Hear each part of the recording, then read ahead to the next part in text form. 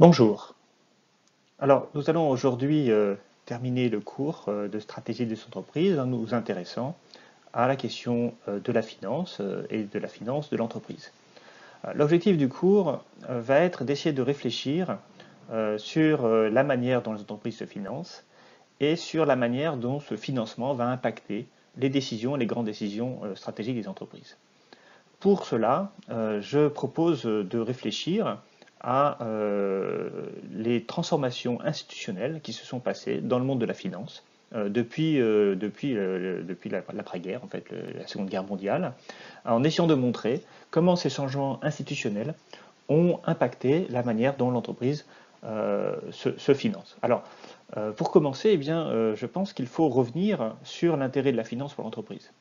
L'entreprise, c'est un producteur, c'est-à-dire qu'il produit de la richesse, pour produire de la richesse, il a besoin euh, de moyens de production. Ces moyens de production sont de deux ordres. Hein, d'une part, euh, le capital et d'autre part, le travail. en général, euh, je demande toujours à mes étudiants de M2 à ce moment-là, qu'est-ce que le capital? Parce que très souvent, la notion est floue, y compris lorsqu'on est un étudiant en économie depuis un certain temps, parce que ces choses-là, eh on les voit en première année, puis ensuite on a tendance un peu à les oublier. D'autant plus qu'il y a différentes manière de définir le capital. Mais alors en économie, on va avoir une définition réelle du capital. C'est-à-dire on va essayer de comprendre ce que physiquement, en quelque sorte, le, est le capital. Alors donc, qu'est-ce que le capital? Ah, Le capital, concrètement, ce sont les moyens de production euh, qui ne sont pas les moyens humains. Alors, c'est-à-dire, c'est ce qui sert à produire. Et il faut bien distinguer le capital de la richesse, parce que euh, la richesse ne sert pas toujours à produire. Hein. Donc on a ici, dans le capital, une, première notion extrêmement importante, qui est euh, que ça, participe au processus de production de richesse. Euh, deuxième, deuxième, élément du capital, eh bien, lui-même se décompose en deux, le capital fixe et le capital circulant. Le capital fixe, c'est le capital qui est accumulable dans le temps, c'est-à-dire qui ne va pas disparaître dans le processus de production. Le capital circulant, lui, euh, eh bien, il va tendre à disparaître euh, dans le processus de production. Alors cette, division entre capital fixe et capital circulant, ce n'est pas moi qui l'invente bien sûr, elle est au cœur de la pensée économique. En réalité, elle a été très clairement expliquée par Adam Smith euh, dans son livre La richesse des nations, où il distingue clairement les deux formes de capital. on a donc un, aspect productif dans le capital qui est, au cœur de la question. Mais quand on revient sur la question de la finance, euh, eh bien là aussi, il faut bien distinguer le capital fixe du capital circulant. La finance, en réalité, euh, sert à financer euh, ce qui va coûter à long terme, et donc la finance finance essentiellement le capital fixe. Hein, alors, pour, essayer de donner un exemple de ce que c'est que le capital fixe, eh bien, ce sont les machines, ce sont les bâtiments, ce sont pour une entreprise les véhicules, euh, mais ce sont euh, aussi euh, d'autres éléments qui participent à la production, qui sont des éléments immatériels, des actifs immatériels. Alors cela peut être la marque, cela peut être des brevets, cela peut être tout un ensemble de choses, l'image, hein, la, réputation peut être aussi une forme de capital pour une entreprise. tout cela nécessite des investissements, y compris la marque. Pour faire vivre une marque, eh bien, il faut investir dans des, annonces commerciales, etc. alors, euh, d'ailleurs, euh, en passant, enfin, pour, revenir sur, euh, la question de la marque, Apple, par exemple, c'est une marque. Coca-Cola, c'est une marque. Et, ça participe aux productions de, de, richesse parce qu'en fait, une boisson produite par Coca-Cola ne se vendra pas du tout de la même façon qu'une boisson produite par vous ou moi ou par Tartampion. puisque, en fait, ce qui va faire que les gens vont acheter une boisson, c'est aussi la confiance qu'ils ont euh, dans, cette boisson. donc euh, il faut, bien comprendre que euh, quand on parle de capital, on parle de tout ce qui produit, tout ce qui permet de produire. Et, en fait, la marque permet tout autant de produire que l'usine. Hein, c'est-à-dire qu'on n'est pas sur une vision où la valeur se contente du produit en tant que tel, mais sur tout ce qui est autour du produit, et donc y compris la marque.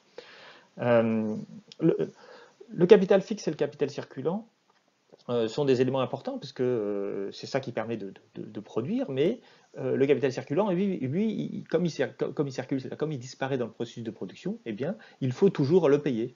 Et donc, on, a ici, d'un point de vue financier, on, va produire, on va devoir acheter des matières premières, on va devoir consommer de l'électricité, on va devoir, mettre de l'essence dans la, voiture.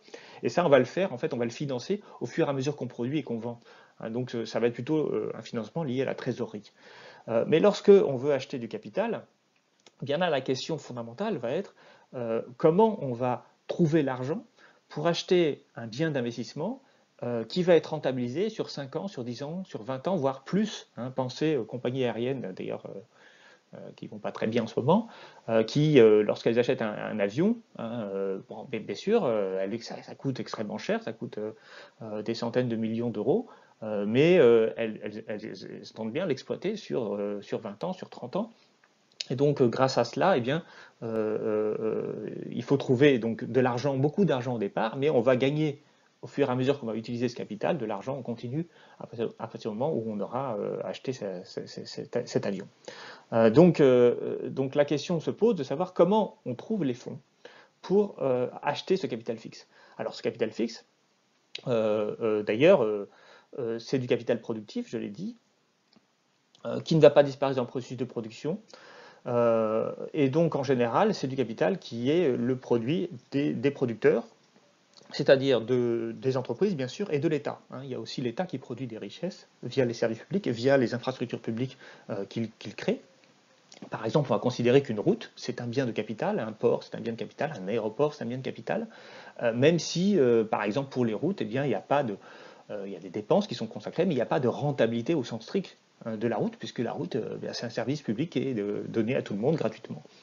alors, euh, si je reviens à Adam Smith, Adam Smith avait beaucoup insisté sur le, justement sur le caractère productif hein, du capital. Et notamment, euh, il considérait que le logement des personnes eh n'était pas euh, productif, hein, puisqu'il ne permet pas directement de produire de la richesse, au contraire de l'échoppe du commerçant ou de l'atelier de l'artisan, qui, eux, produisent avec les bâtiments dont ils disposent.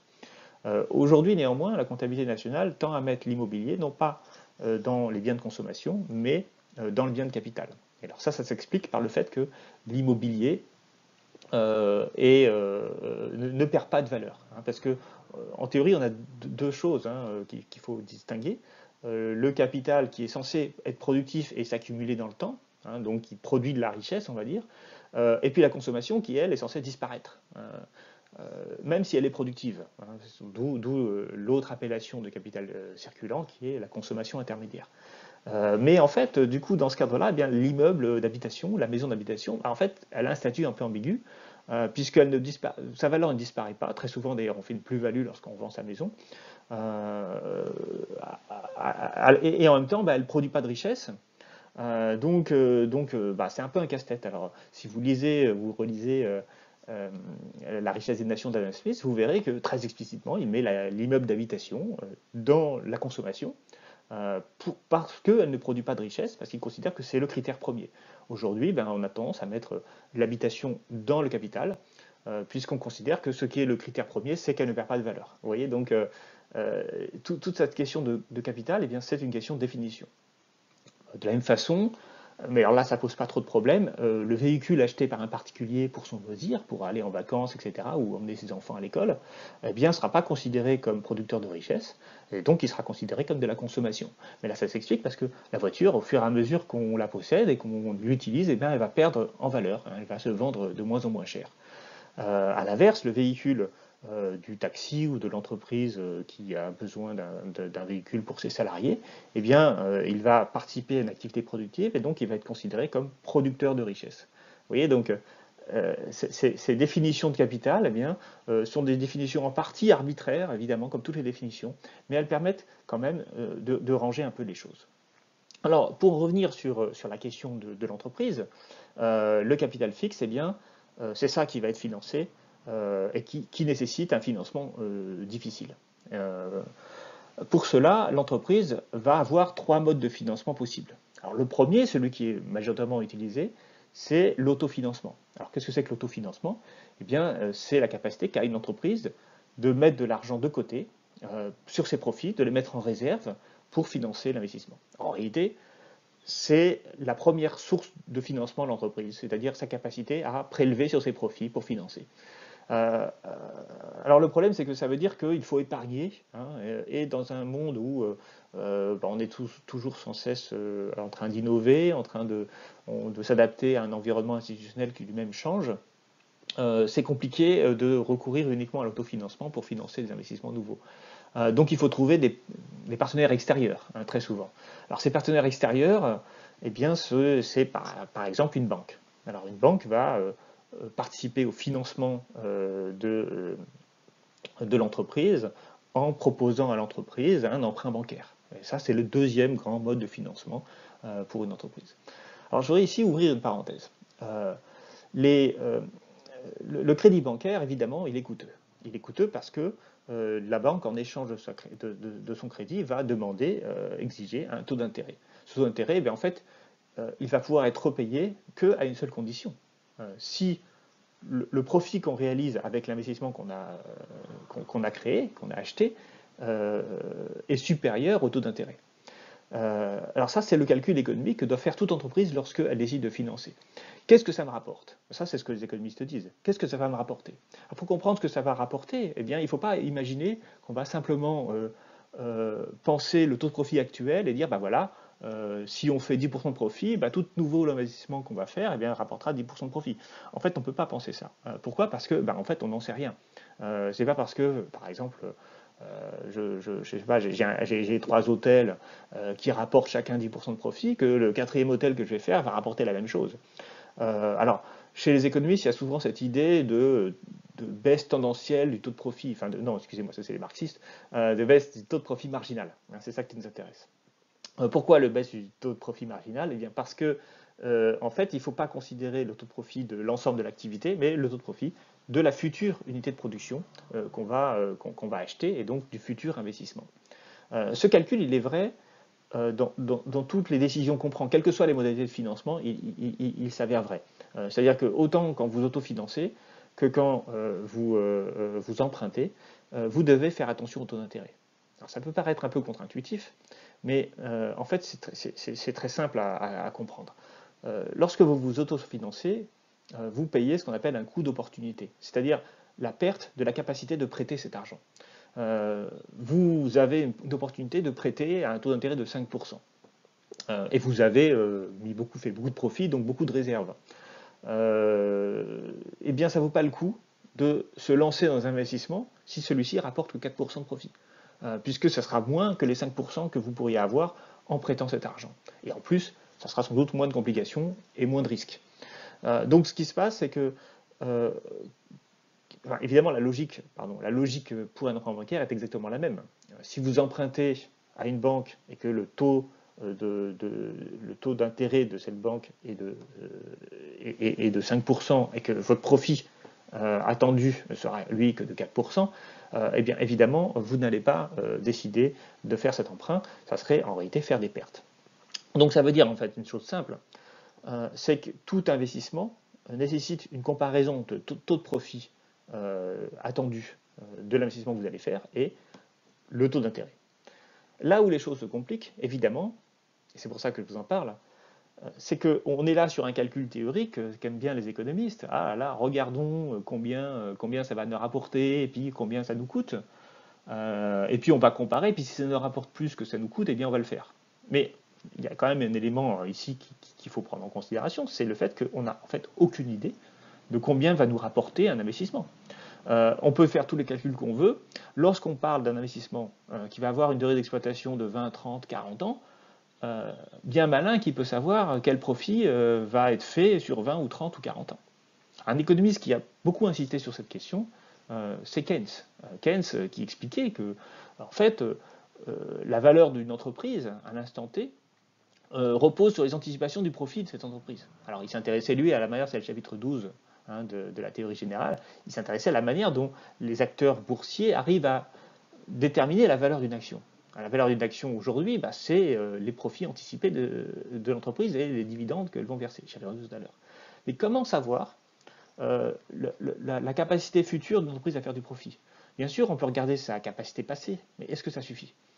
Donc ce que je veux dire, c'est que euh, cette histoire de je calcule le taux de profit marginal attendu de l'investissement que je vais réaliser et je le compare avec le taux d'intérêt, c'est une histoire qui repose sur une vision totalement abstraite de ce que sont les décisions des entrepreneurs. Aucun entrepreneur n'est en réalité capable de savoir quel va être de profit. tous, les, tous les événements qui arrivent sont par définition non anticipables. voyez par exemple, là on est dans une situation où un entrepreneur qui aurait décidé euh, d'investir dans une nouvelle boutique euh, au mois de décembre euh, bah, se retrouve un peu fermé maintenant, obligé par le gouvernement, et donc complètement pris à la gorge, incapable de savoir ou d'avoir pu prévoir quoi que ce soit par rapport à ça. Donc évidemment, on est sur un pari, on est plus sur de l'incertitude que du risque. Hein. Je réfère évidemment à Frank Knight, 1921, à sa distinction entre risque et incertitude. On est en fait sur un monde dans lequel en fait aucun calcul n'est possible. Euh, euh, voilà, donc j'insiste là-dessus parce que euh, penser que comment dire, les petits raisonnements abstraits, les petits modèles de comparaison coût-avantage, bien sûr qu'ils ont un sens théorique, mais en pratique, un entrepreneur, bien, en fait, il va faire un pari. et il ne va pas forcément investir en, en calculant exactement le taux de profit marginal attendu et en le comparant au taux d'intérêt. Par contre, il est vrai que tout entrepreneur qui réalise un investissement va le faire en pariant sur le fait que cet investissement va lui rapporter de l'argent. Ce pari sera gagné ou perdu, euh, mais il est au cœur de sa décision d'investir. Donc il ne fera, pas un véritable calcul, bien sûr, parce qu'il en est totalement incapable et parce que c'est absurde de penser qu'on puisse en être capable. Mais euh, il va quand même euh, avoir cette démarche créative. Donc je reviens sur les, les, trois modalités. Première modalité, on s'autofinance. Deuxième modalité, on emprunte. Dans les deux cas, on va chercher à comparer un coût et un avantage, mais on ne va pas le faire de manière à, le calculer réellement. Et puis il y a troisième, euh, troisième manière, euh, l'emprunt sur les marchés. Alors là aussi, je vous brosse les trois manières, on va voir qu'il y en a peut-être quelques autres qui existent, hein, mais ce sont, on va dire, les plus classiques. alors dans ce cas-là, eh bien, il s'agit de recourir au marché, c'est-à-dire au lieu de demander à une banque de prêter de l'argent, eh bien, on va demander à de très nombreuses personnes de nous prêter chacune un peu d'argent. Alors évidemment, cet emprunt sur les marchés, euh, il est efficace parce que, euh, en particulier lorsqu'on est une grosse entreprise, euh, qu'on a des investissements extrêmement onéreux à, financer. vous voyez, si vous avez besoin de 50 000 euros, ou de 100 000 euros, voire d'un million d'euros, vous pouvez souscrire un emprunt bancaire. mais si vous avez besoin d'un milliard d'euros, si vous voulez, par exemple, couvrir la France d'antennes 5G, ça va coûter extrêmement cher. Euh, non seulement pour acheter euh, les antennes, mais aussi pour euh, négocier avec des gens pour trouver des endroits où les placer, pour, pour, pour, pour, les installer, etc. etc. et surtout que voilà, sur un territoire comme la France, c'est très grand. Donc là, concrètement, vous êtes une grande entreprise, vous n'avez pas les moyens de vous autofinancer. On est là aussi, d'ailleurs c'est intéressant dans les télécoms, on est souvent sur des entreprises qui investissent beaucoup, et donc qui sont en croissance très forte, et donc euh, qui ne peuvent pas attendre hein, d'avoir euh, euh, de faire des, profits pour investir. Donc qu'est-ce qu'elles font? Eh bien, eh bien, elles sont coincées a priori puisque elles trouveront jamais une banque qui acceptera leur prêter un milliard d'euros dans une activité aussi risquée. Donc qu'est-ce qu'elles font? Eh bien, elles pratiquent la finance de marché. Alors là aussi, on a deux manières l'obligation et l'action. Je vais me concentrer d'abord sur l'obligation une obligation, c'est un titre de créance.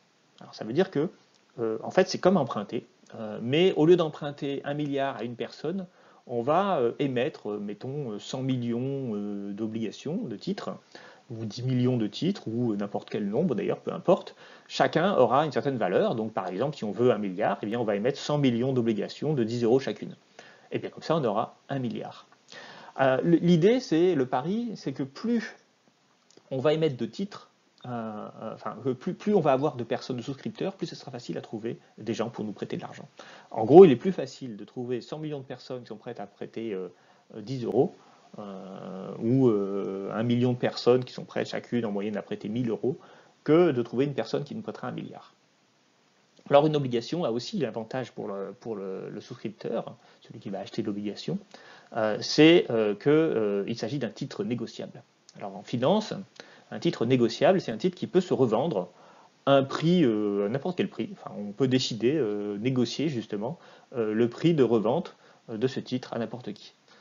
Du coup, ça permet aussi à la personne qui prête, donc qui achète l'obligation, de se désengager à tout moment. Et donc, ça veut dire que, contrairement à une banque qui, lorsqu'elle prête, du coup, apporte l'argent, mais ne peut pas exiger en retour que cet argent lui soit rendu immédiatement, eh bien, euh, pour un, acheteur d'obligations, eh bien, il peut aussi, sur le marché financier, justement, revendre à tout moment l'obligation.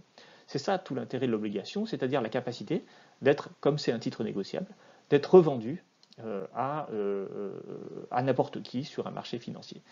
cette capacité à être vendu, on l'appelle en économie et en finance la liquidité. Plus un titre est liquide, et plus ce titre va être recherché, euh, et évidemment, pour avoir des titres liquides, eh il faut avoir des masses importantes de titres. Et donc, ça veut dire aussi que cette finance de marché sera plus souvent utilisée par les grandes entreprises que par les petites entreprises. Autre moyen de financement, l'action. Alors, l'action, c'est aussi un titre négociable, c'est-à-dire qu'il peut s'échanger librement sur les marchés, mais il ne s'agit pas d'une obligation. Il s'agit euh, pas d'une créance. Il s'agit d'un titre de propriété. Quand on est actionnaire, on possède en partie le capital de l'entreprise. Alors, cette, euh, ces actions, euh, comme elles ne sont pas remboursées, eh bien, en fait, elles ont une valeur qui est déterminée par le fait qu'elles vont procurer un dividende euh, sur une période illimitée. C'est-à-dire que tant qu'on possède l'action, eh à la fois on participe au droit de vote dans l'Assemblée générale des actionnaires, donc on participe à la codécision.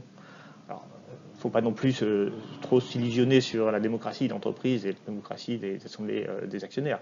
Mais concrètement, on élit, on est censé élire le conseil d'administration, euh, on est censé maintenant depuis peu d'ailleurs euh, valider les rémunérations euh, des hauts dirigeants d'entreprise, etc. etc. néanmoins, en fait, ce qu'on fait, c'est qu'on délègue essentiellement le pouvoir à un groupe de personnes qui, lui, va gérer au quotidien l'entreprise et en particulier nommer un directeur général.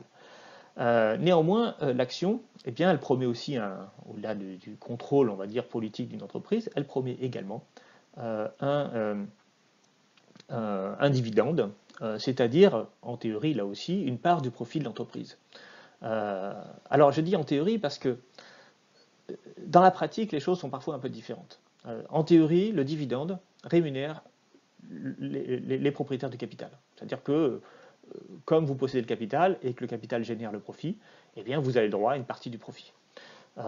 L'autre partie pourra être, par exemple, réinvestie dans le cadre de l'autofinancement. Euh, néanmoins, les politiques de versement de dividendes des entreprises euh, sont parfois déconnectées euh, de la capacité de l'entreprise à faire du profit. On a vu par exemple des entreprises verser des dividendes alors même qu'elles font des pertes. Pourquoi? Parce qu'elles veulent sécuriser les actionnaires, leur dire voilà, je vous donne tant de dividendes par action. Alors ça peut vouloir dire 5% de profit ou 10% de profit pour chaque action. Et je vous assure cela. Et donc même quand elle fait des pertes, eh bien, elle va continuer de verser, donc elle peut emprunter euh, auprès d'une banque par exemple pour verser des dividendes. Euh, alors ça paraît complètement aberrant, mais euh, c'est l'idée que de sécuriser et de rendre confiance. C'est l'idée aussi de, valoriser le cours de l'action. Nous verrons comment ce genre de choses peut arriver. L'entreprise peut aussi racheter ses propres actions. Alors là aussi, qu'est-ce que ça va faire? Eh Ça va faire remonter le cours de l'action, hein, puisque quelque part, eh bien, on a un même capital, c'est-à-dire les entreprises euh, ont un capital physique, hein, réel, c'est-à-dire les, bâtiments, euh, la trésorerie, etc., euh, les machines.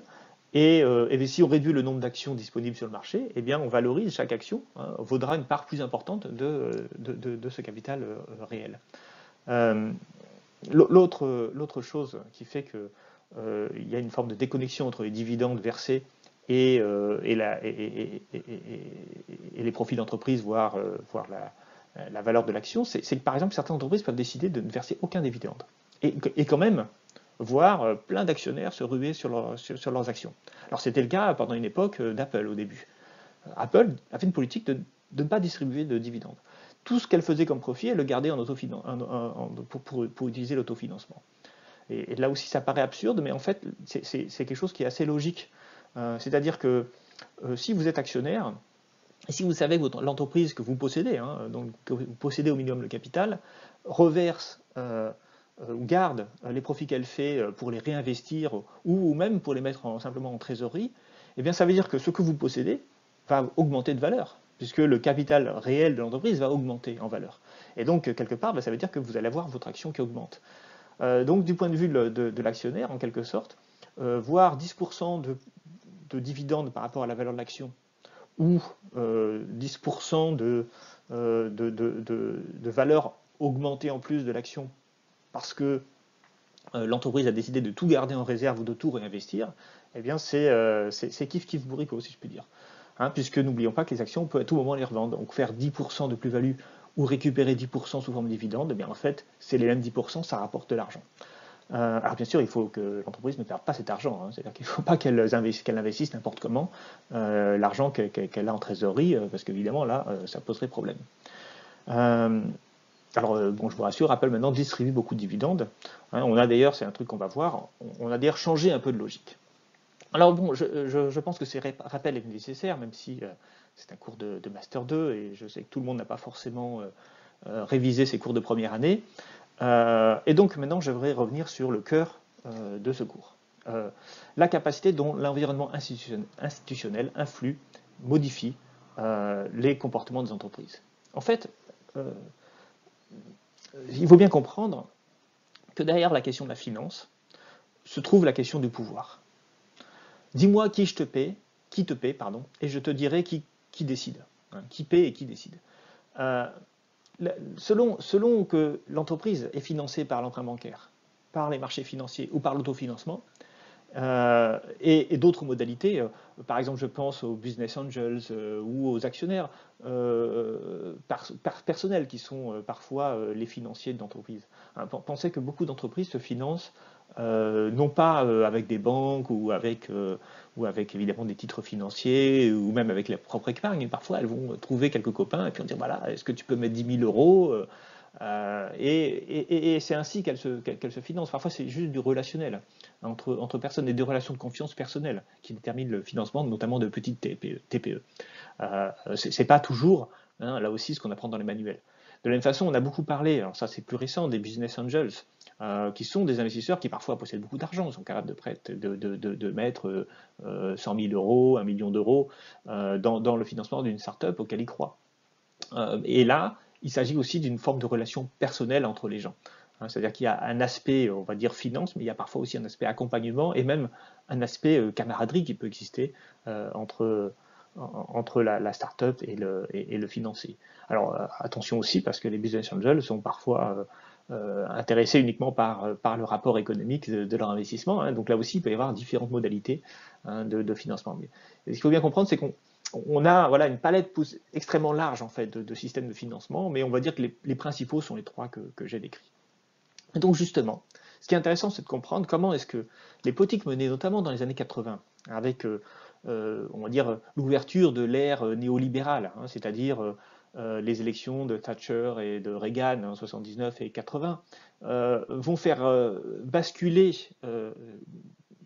profondément changer l'univers institutionnel. Les politiques qui vont être menées dans les années 80 seront des politiques qui seront massivement anti-inflationnistes, puisque c'était l'inflation qui était le problème de l'époque. et tout cela va profondément transformer euh, l'univers institutionnel. Donc ça, on va essayer de l'expliquer. Euh, on va expliquer comment est-ce que ces transformations de l'univers institutionnel de, financement vont entraîner aussi des, changements de rapport de force euh, politique au sein de l'entreprise. Et là aussi, c'est quelque chose d'extrêmement important. L'entreprise n'est pas contrôlée uniquement par son PDG et par sa direction. l'entreprise est également soumise au désirérata, à l'influence de ses financiers. Et selon qu'on est une banque ou un actionnaire, eh bien, on ne va pas avoir les mêmes intérêts et pas les mêmes façons de gérer l'entreprise. Ou on va voir aussi les investisseurs institutionnels qui, eux aussi, ont une part importante dans le contrôle du pouvoir de l'entreprise. Euh, et donc tout cela euh, influe sur la stratégie de l'entreprise, y compris sur sa stratégie qui n'a rien à voir avec une stratégie financière, c'est-à-dire sur sa stratégie d'investissement, sur sa politique de, euh, ressources humaines, sur même sa définition même en tant qu'entreprise. Hein, je, pense que quand on réfléchit à la manière dont euh, Serge Tourouk, euh, dans les années 90, expliquait qu'il voulait construire, faire de Alcatel une entreprise sans usine, évidemment c'était une citation qui était beaucoup commentée, mais qui, révèle aussi euh, un changement logique. C'est-à-dire qu'Alcatel, qui était une entreprise industrielle, hein, à la base, fondée sur le secteur des télécoms, qui faisait la fibre optique, etc., hein, donc des choses très physiques et très usines, lorsqu'elle se dit, eh ben voilà, maintenant ce que je veux, c'est être un prestataire de services parce que c'est ça une entreprise sans usine, je veux mettre en relation les différents sous-traitants et donc plus produire moi-même et faire produire en Asie, etc. Eh bien, quand, Serge Touroux dit ça, il a une manière de penser qui, à mon avis, n'est pas totalement déconnectée du basculement des années 80 et de la manière dont on a conçu différemment l'entreprise. et, cette, manière différente de concevoir l'entreprise, elle est effectivement liée à, cette financiarisation de l'économie. Et puis il y a une autre, un autre basculement institutionnel dont il faut parler, et on en parlera à la fin, c'est bah, les conséquences de la crise de 2008. une crise financière, certes, mais une, crise qui, modifie aussi en profondeur euh, la manière dont les entreprises vont se financer et qui va euh, du coup là aussi euh, avoir des conséquences importantes sur, sur, justement bah, leur calcul de coûts, leur calcul d'investissement et leur manière d'opérer dans, dans, l'économie réelle. Et puis on pourrait même aborder la question de qu'est-ce qui va se passer maintenant avec la crise du coronavirus? Ça malheureusement ça ne sera pas l'objet de ce cours parce qu'il il est trop tôt pour le dire. Mais enfin, je suis quand même frappé par euh, toutes les mesures qui ont été annoncées ces derniers temps, qui, sont des mesures quelque part d'étatisation de l'ensemble de l'économie. Que se passe-t-il lorsque tout d'un coup euh, on dit aux entreprises, euh, eh bien maintenant, vous pouvez mettre vos, salariés au chômage partiel, voire euh, en fait au chômage total, parce que en fait les, salariés ne reviennent plus dans l'entreprise, ils produisent plus rien et ils sont payés par l'État directement. Que se passe-t-il lorsqu'on dit aux entrepreneurs, maintenant vous pouvez, on va, on va donner des consignes aux banques, les banques doivent vous prêter tout l'argent dont vous avez besoin pour passer la crise, et l'État met un fonds de garantie de 300 milliards d'euros pour à tout moment garantir les emprunts que vous allez contracter. Euh, bon, ben là, ben là, pareil, on a une forme de détatisation euh, de la finance, euh, de, la finance d'entreprise. c'est très intéressant de voir Bruno Le Maire maintenant expliquer, après avoir tant, tant, tant, insisté sur l'importance de privatiser ADP, que maintenant il allait peut-être nationaliser Air France ou d'autres entreprises. Hein. pourquoi? Parce que pour les sauver. Hein, donc c'est euh, ce secteur privé qui était si efficace, euh, finalement, lorsqu'il s'effondre, eh c'est quand même à l'État euh, qu'on demande d'intervenir. Et là encore, je pourrais rajouter aussi la décision de cette nuit hein, de la Banque Centrale Européenne qui décide de racheter directement des obligations d'État, ce qu'elle s'était toujours refusé et ce qui d'ailleurs est contraire au traité. Ça, va être une affaire intéressante à suivre. donc voilà, il y a des bouleversements, il y a des changements. Parfois ces changements ils sont politiques, c'est-à-dire euh, ils émanent des, élections et euh, de, l'idéologie qui est derrière pour Reagan et Thatcher. Parfois, bah, ils sont extérieurs, ils arrivent et ils cassent un peu et ils obligent de, nouvelles stratégies pour le politique hein, et puis aussi du coup pour les entreprises. Alors, je vous propose de, regarder un peu les besoins d'investissement des entreprises. Dans cette diapositive, là, nous, constatons un, donc évidemment un, graphique euh, qui, euh, que j'ai calculé, que j'ai refait, que j'ai fait hier en fait, hein, donc est tout, récent, il va jusqu'en 2018, et il montre ici l'évolution du taux d'investissement des entreprises en pourcentage du PIB. Alors ce qui est intéressant dans ce graphique, euh, c'est qu'ici il s'agit d'entreprises du G7, c'est qu'on peut voir déjà qu'il y a des grosses différences entre certains pays. Hein. vous voyez, tout en haut, là, le Japon, hein, le taux d'investissement des entreprises japonaises représente, hein, grosso modo, à peu près 16%, on va dire entre 14 et 17% euh, du PIB. Euh, donc euh, c'est quelque chose qui est, beaucoup plus important que celui des autres pays où on est plutôt aux alentours de 11% hein, dans, certains pays. Alors quand on regarde ensuite qui, arrive derrière le Japon, en 2018, le Japon ça va jusqu'en 2017 hein, pour le chiffre, on a, bah, on a la France, en numéro 2 on a l'Allemagne après, puis on voit d'autres pays euh, beaucoup plus faibles, hein, notamment l'Italie, euh, qui est très faible, mais aussi le Royaume-Uni. Euh, l'autre chose que nous apprend ce graphique, c'est les variations très fortes qui existent. Alors ces variations, eh bien, elles s'expliquent par la logique même de l'investissement de l'entreprise. Tout à l'heure, je vous disais, l'entreprise investit en faisant une forme de calcul qui n'en est pas un, c'est-à-dire en essayant de parier sur le, profit futur. eh bien, il y a des moments où, vous voyez, le profit futur va être, euh, va être calculé d'une façon un peu différente. Alors c'est par exemple le cas ici euh, de la crise de 2008, hein, qui voit l'effondrement de l'investissement de toutes les entreprises dans le monde entier. alors, évidemment, hein, l'entreprise va se dire, alors, l'année prochaine, la demande va baisser, donc pourquoi est-ce que j'irai investir maintenant je risque de faire des pertes, donc ça va me coûter cher l'investissement et ça ne me rapportera rien. Hein. donc évidemment, elles arrêtent d'investir. mais c'est aussi lié au fait que les banques elles-mêmes ne prêtaient plus. Voyez aussi la crise de 2001 qui est aussi très visible ici, hein, l'effondrement de l'investissement des entreprises lié à l'explosion de la bulle Internet. Donc vous voyez qu'on a une synchronisation en quelque sorte, malgré les différences de niveau, hein, on a une forme de synchronisation. Alors si on regarde un peu plus dans le détail, euh, on peut regarder ici euh, l'évolution des dépenses d'investissement des entreprises européennes. Hein. donc là aussi du G7, l'Allemagne, la France, l'Italie. Alors on retrouve évidemment euh, la baisse de 2009, mais on voit aussi une deuxième baisse qui n'était pas visible dans le graphique du G7, hein, qui est la baisse de la crise de l'euro.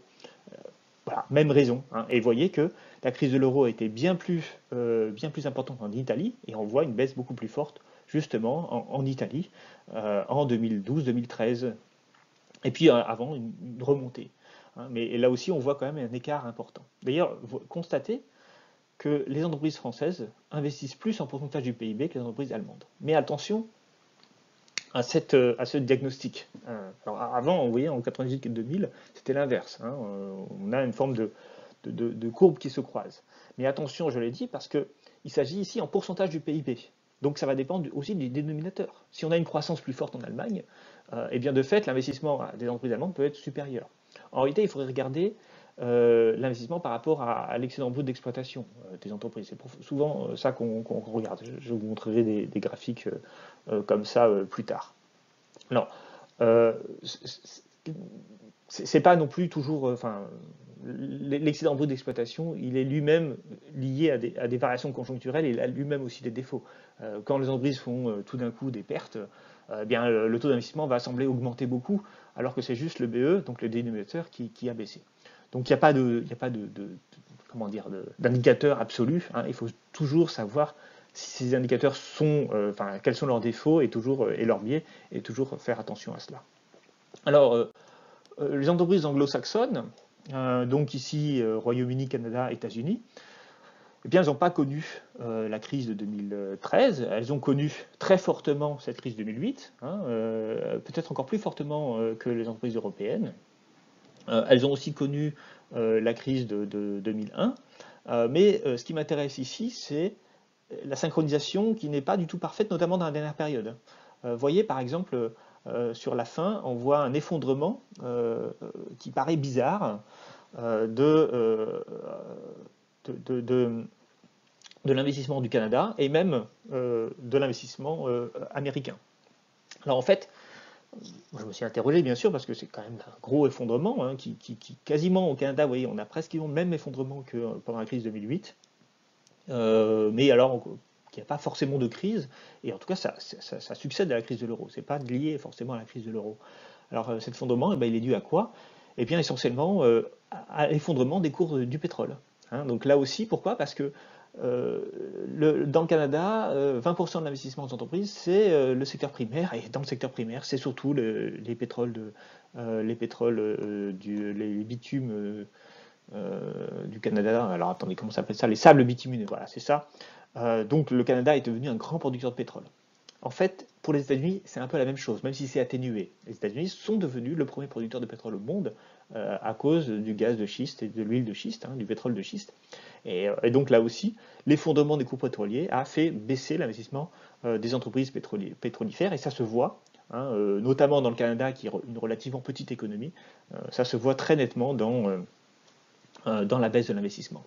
Le Royaume-Uni, qui, qui, est aussi un pays pétrolier, mais dans lequel il y a peu d'investissements en fait qui sont réalisés. Ils exploitent essentiellement le pétrole de, mer du Nord, mais mais c'est pas euh, considérable par rapport à leur économie. Donc ils n'ont pas connu ça. Par contre, ils connaissent, vous voyez, euh, un effondrement après 2016 hein, de l'investissement des entreprises. Bon bah là, on peut tout à fait le, voir dans les conséquences, bien sûr, du Brexit et l'incertitude que le Brexit a entraîné sur l'économie euh, britannique. Alors dernier graphique pour montrer l'évolution de l'investissement de certains pays émergents. Alors j'ai pris les sources de l'OCDE. Euh, bon, euh, a pas, euh, on n'a pas des chiffres, extrêmement fiables pour tous ces pays. Hein. notamment, vous voyez la Russie, on a les chiffres que depuis 2014. le Brésil que depuis 2000, et la Chine, en rouge ici, on les a depuis 1998. ce qui m'intéresse ici, c'est l'investissement chinois, plus particulièrement. parce qu'on voit un taux d'investissement des entreprises en pourcentage du PIB qui, globalement, augmente sur la période 98-2016. alors, ça, paraît, ça paraît surprenant, parce que la Chine euh, euh, comment dire, a vu son taux de croissance euh, diminuer en fait sur cette période. donc, alors évidemment, ça peut être expliqué par le fait que comme la croissance est plus faible, le rapport investissement sur le PIB forcément est tendance un peu à augmenter. Mais je pense que c'est aussi lié au fait qu'on on est là aussi sur un taux d'investissement des entreprises et que la Chine pendant cette période, a fait beaucoup de privatisation d'entreprises publiques et, et, en fait, le taux d'investissement global de la Chine n'a pas augmenté. Euh, mais le taux d'investissement des entreprises, lui, a augmenté parce que, la, Chine a en partie privatisé son économie. Voyez aussi euh, les effets de la crise 2008 ici. Hein. C'est-à-dire que cette crise 2008, eh bien, elle a entraîné en Chine une hausse de l'investissement des entreprises. Et ça, c'est lié au fait que la Chine est, est un pays euh, qui n'est pas une économie, une réelle économie de marché. Hein. Concrètement, l'État et le Parti communiste en particulier est extrêmement influent et donc il a décidé de mener une politique de relance en obligeant, en contraignant de fait les entreprises à investir davantage, en, se concentrant aussi beaucoup sur la demande intérieure, hein, c'est le tournant stratégique qui a été pris à ce moment-là. Euh, voyez que la Chine, qui est un pays en forte croissance, a un taux d'investissement nettement supérieur à celui du Brésil. Hein. le Brésil, euh, qui en plus va pas très bien, hein, puisque depuis 2014, eh bien, on voit le taux d'investissement de ces entreprises qui a tendance à baisser. bon, pour la Russie, il n'est pas capable, il n'est pas possible de dire de dire grand-chose, euh, mais constatant que, euh, bon alors, euh, oui, impossible de dire grand-chose. La, baisse du prix du pétrole, c'est entre 2012 et 2014, on l'a vu sur la diapo précédente. donc là, on ne sait pas si c'est un rattrapage d'un taux d'investissement précédent ou si c'est une véritable hausse. il est impossible de, dire grand-chose. Tout ce qu'on constate, c'est que globalement, aujourd'hui, hein, en 2017, enfin en tout cas en 2017, l'investissement des entreprises russes était aux alentours de 15% du PIB, ce qui, la place plutôt dans la partie haute, hein, si on devait la comparer aux, économies industrialisées, alors que euh, à l'inverse, le Brésil, lui, serait vraiment, est, vraiment faible, hein, vraiment un taux d'investissement faible. On est quasiment ici à 7% hein, euh, euh, du PIB, ce qui est quand même un niveau extrêmement faible, plus faible encore que l'Italie. Alors voilà, j'avais montré ça. Nous avons vu l'investissement quantitatif de ces dernières années des entreprises. Maintenant, il faut s'intéresser aussi au qualitatif. Alors, qu'est-ce que je veux dire par là? Je veux dire euh, essayer de comprendre comment les entreprises décident euh, de se financer et surtout comment elles se financent entre les différents modèles que j'ai présentés tout à l'heure. Euh, alors pour essayer de, comprendre cette évolution, il faut bah, repartir, on va dire, historiquement de ce qui se passait auparavant, et notamment de s'intéresser à la période des Trente Glorieuses.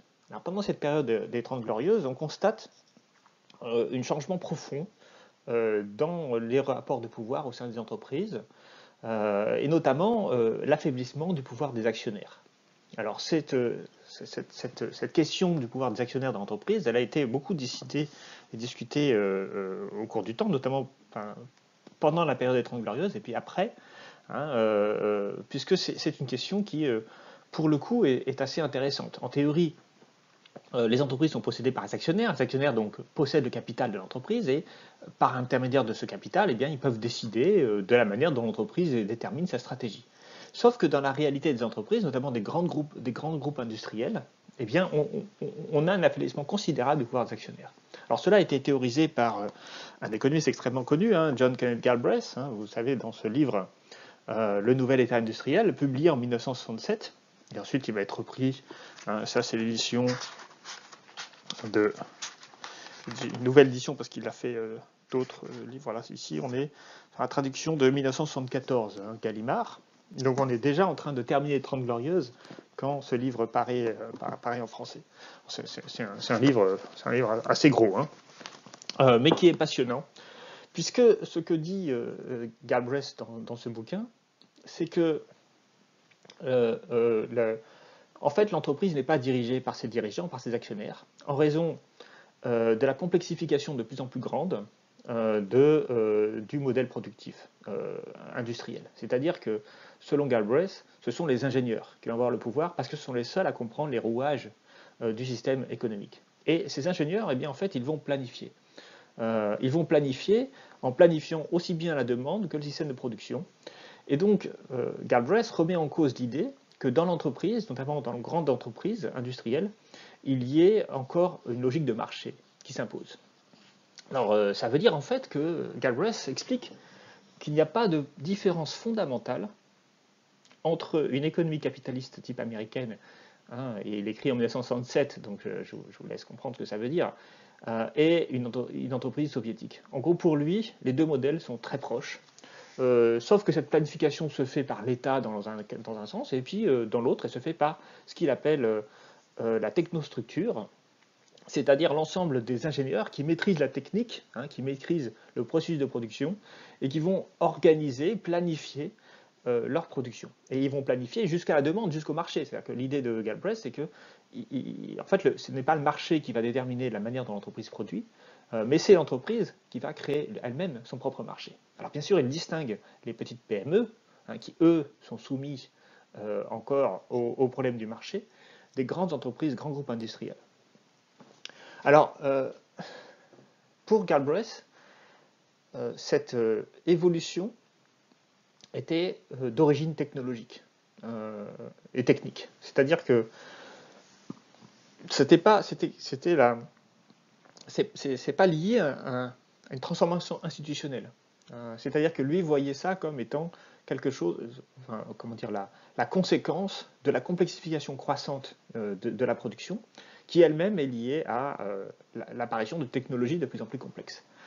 Euh, cependant, et peut-être que là-dessus, Galbraith avait tort, puisque derrière cette techno, euh, structure et cette bureaucratisation euh, de, l'entreprise, eh bien, il y avait aussi un univers institutionnel qui avait de fait affaibli le, pouvoir du marché, notamment le pouvoir des marchés financiers. On est dans un, monde où, alors là aussi, on peut relire Piketty ou d'autres euh, économistes qui montrent que euh, bah, à l'époque, les taux de, la fiscalité des hauts revenus était extrêmement importante aux États-Unis. On avait euh, pour le taux supérieur hein, de l'impôt sur le revenu des taux qui étaient qui, qui, qui qui, parfois même pouvaient dépasser les 90% du revenu. Donc c'est des taux extrêmement importants. On était aussi dans un univers où la, bourse était très régulée et où donc le pouvoir euh, de marché euh, dans la finance était, en fait assez, faible et, la banque elle-même, le système bancaire était très, très, euh, très régulé. Hein. on était encore sous le Glass-Steagall Act hein, de 1932 de Roosevelt hein, qui avait séparé les fonctions de banque de marché, de banque d'investissement, de banque de crédit, beaucoup plus fortement d'ailleurs aux États-Unis qu'ailleurs dans le monde.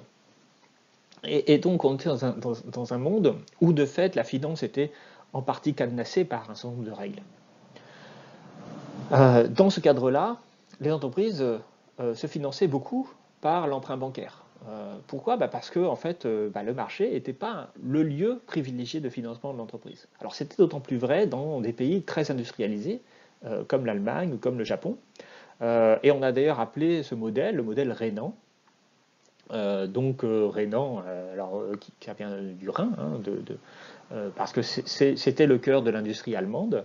Euh, mais en fait, on l'a étendu à un pays comme le Japon euh, ou la Suède ou, d'autres pays qui, qui, en fait avaient une organisation économique fondée sur l'industrie. Et cette industrie avait besoin d'avoir de voir une, perspective à, long terme, c'est-à-dire de ces, entreprises avaient besoin de planifier donc, et ne pouvaient pas répondre à des besoins euh, à court terme que pouvaient leur, euh, euh, les obliger à suivre les, actionnaires plutôt focalisés sur la question de rendement de l'action. Et donc, comment ça se passe? Eh bien, on essaie de se financer par l'emprunt bancaire dans un cas de collaboration. C'est-à-dire que ça va assez loin, en fait, hein, le, financement de l'entreprise industrielle. les, industriels ont besoin d'investissements sécurisés sur du long terme pour acheter du capital qui est onéreux. Euh, et ils engagent une forme de partenariat euh, et, euh, avec les banques. Alors les propriétaires de capital ont en fait peu de pouvoir. Alors c'est particulièrement vrai en Allemagne où il y a un système de cogestion qui fait que les représentants des salariés, notamment là aussi dans les grandes entreprises industrielles, ont une voix importante hein, et notamment peuvent bloquer un certain nombre de décisions stratégiques qui nécessitent plus que la moitié du conseil d'administration d'entreprise. Et, donc, en fait, voilà, donc les, propriétaires de capital manquent, hein, on va dire, de, de, capacité de faire valoir leurs intérêts.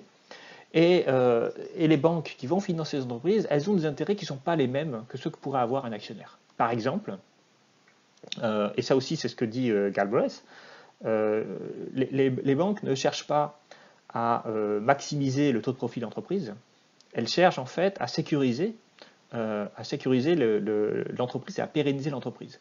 le risque pour une banque, c'est pas de faire moins de profit, le risque pour une banque, c'est de voir que l'entreprise est faillite et qu'elle ne sera plus remboursée.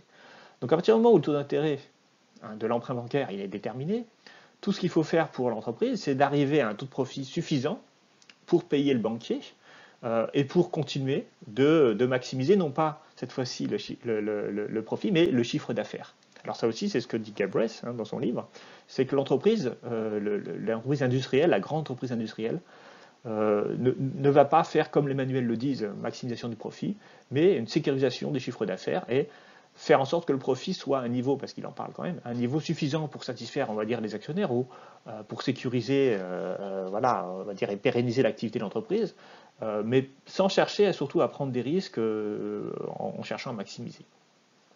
donc en fait, on a cette logique-là qui est renforcée par le pouvoir de financement des banques, puisque pour les banques, hein, la, crainte, c'est la, la faillite, c'est le non-remboursement de prêts, et si l'entreprise doit choisir entre une stratégie risquée qui maximise le profit et une stratégie euh, pépère, si je puis dire, euh, qui va sécuriser l'activité de l'entreprise, eh la banque va toujours faire pression pour, euh, pour, pour ce deuxième chose.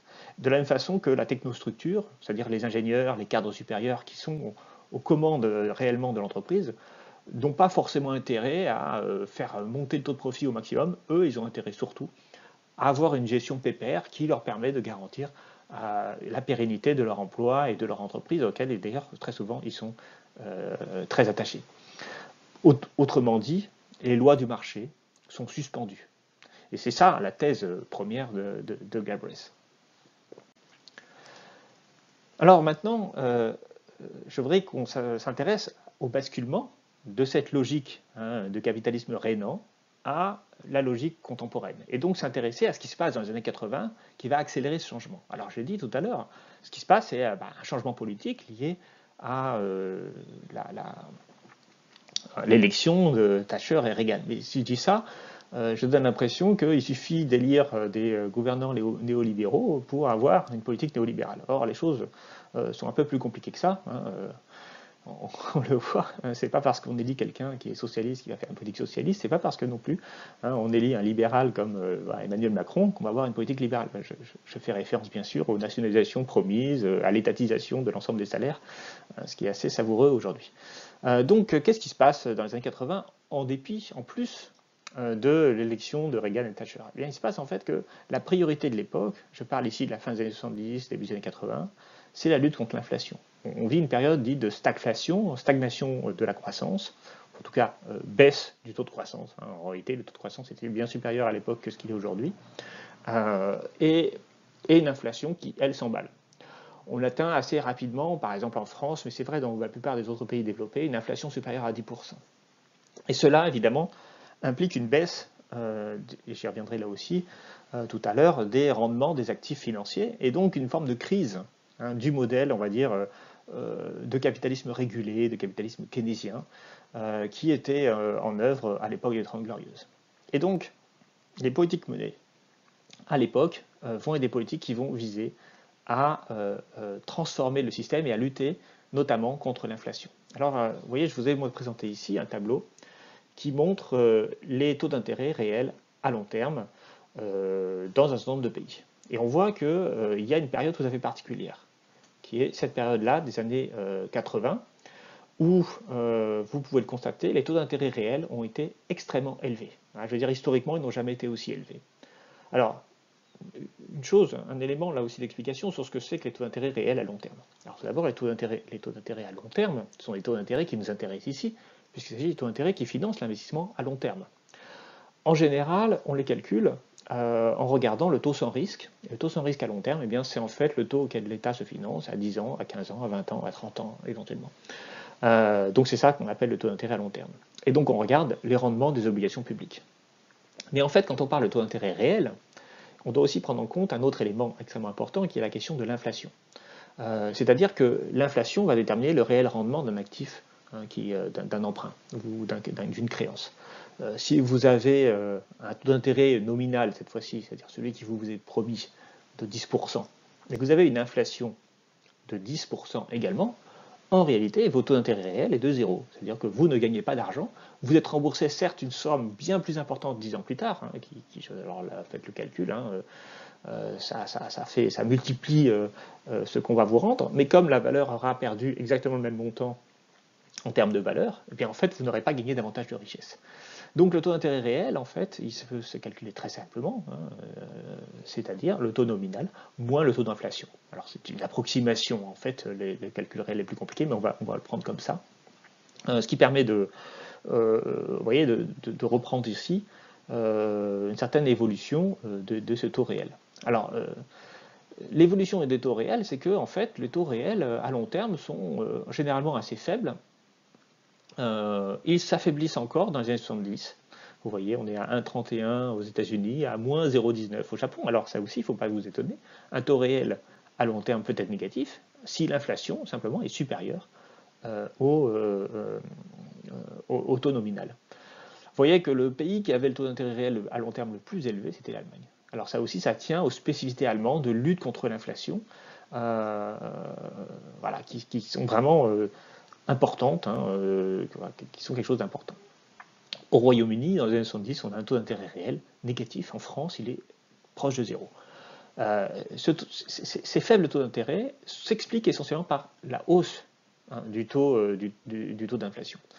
Et cette hausse du taux d'inflation, eh elle est aussi problématique parce que ça veut dire que les investisseurs, les, financiers, ceux qui, qui, sont, qui prêtent de l'argent, en fait, ils perdent de l'argent.